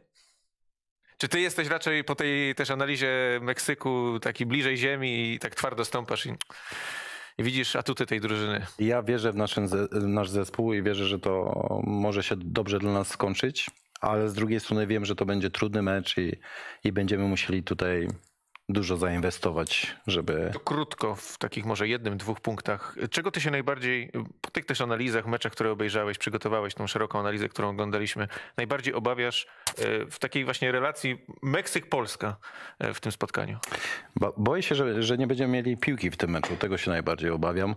E, I w tym układzie czwórkowym boję się, że nasi skrzydłowi będą zbyt mocno zaangażowani w działania defensywne, żeby wyszło coś, co, na co wszyscy liczą, czyli e, uruchomienie tych skrzydeł i wyprowadzenie kontrataku. Także zastanawiam się tylko, czy, czy będzie taka sposobność, żeby przy dobrze zorganizowanej defensywie mieć możliwość wyprowadzenia tego kontrataku, bo zakładam, że, że przeciwnik będzie miał więcej piłki od nas. Niemniej jednak mm, e, jestem przekonany, że swoje sytuacje będziemy mieli, a jeżeli tak jak powiedziałeś, trafię na Lewandowskiego, to jestem przekonany, że tą sytuację wykorzysta. Mamy dwie minuty. Duża odpowiedzialność e, Roberta i tej grupy doświadczonych zawodników. Dla niektórych będzie to ostatni talent. Ja w ogóle jestem przekonany, że Wojciech Szczęsny zakończy karierę w Juventusie. Nie wiem, czy przedłuży umowę, bo pewnie taka propozycja się pojawi, więc e, dla wielu z nich jest to ostatni dzwonek i taka bardzo duża odpowiedzialność. Panowie, nie możemy tego spieprzyć, bo nie możemy odejść jako pokolenie, które też dało Polakom mnóstwo radości, z taką łatką pokolenia, które zakończyło swoją przygodę w kadrze taką spektakularną klęską. Żeby to nie było tak, że za kilka lat będą dziennikarze przepytywać, tak jak przepytują pokolenie 2002, dlaczego w tej Korei nie wyszło, dlaczego w tym Katarze nie wyszło. Wszystkie anglojęzyczne media w kontekście Lewandowskiego piszą tylko jednym, czy on wreszcie strzeli pierwszego gola na mundialu i to jest naprawdę taka rzecz, która powtarza się chyba w każdym tekście reprezentacji Polski. Tak, jeżeli będziemy mieli rzut karny, to na pewno wykorzysta, bo to, co miał już zepsuć, to zepsuł na szczęście. A pamiętasz, co też mówił o rzucie karnym ze Szwecją, że to był chyba karny, który kosztował go tak emocjonalnie bardzo dużo, być może nawet najwięcej w Ja karierze. go kiedyś pytałem, jak wykonują rzut karny, on mówi, kluczowy jest oddech. Raz, dwa, trzy i później robimy swoje, żeby uspokoić swoje ciało, ponieważ zazwyczaj wtedy buzują w nim emocje, więc myślę, że on dobrze też tym, tą kwestią zarządza i co, i po swoje. Na sam koniec zobaczmy jeszcze składy i Polski, i Meksyku i będziemy się powoli y, żegnali. To jest skład reprezentacji Polski. Jeszcze raz Szczęsny, Kasz, Glik, Kiwior, Bereszyński, e, Kamiński, Sebastian Szymański, Grzegorz Krychowiak, Piotr Zieliński, Nikola Zalewski, na szpicy Robert Lewandowski. Wiesz co, podobało mi się, bo widziałem wywiad Szymona Borczucha z Matim Kaszem, że Mati Kasz podchodzi do tego meczu. Jakby to było spotkanie przed sezonem Aston Villa, uśmiechnięty, wyluzowany, bez żadnej spiny. I Meksyk, Ochoa, Sanchez, Montes, Moreno, Gallardo, Alvarez, Herrera, Chavez, Vega, Lozano, także Marcin. y, I obyśmy mogli powiedzieć Meksyk. Meksyk to już przeszłość po tym spotkaniu. Widzimy się tuż po ostatnim y, gwizdku w tym samym składzie, więc zapraszamy Was serdecznie i na nich.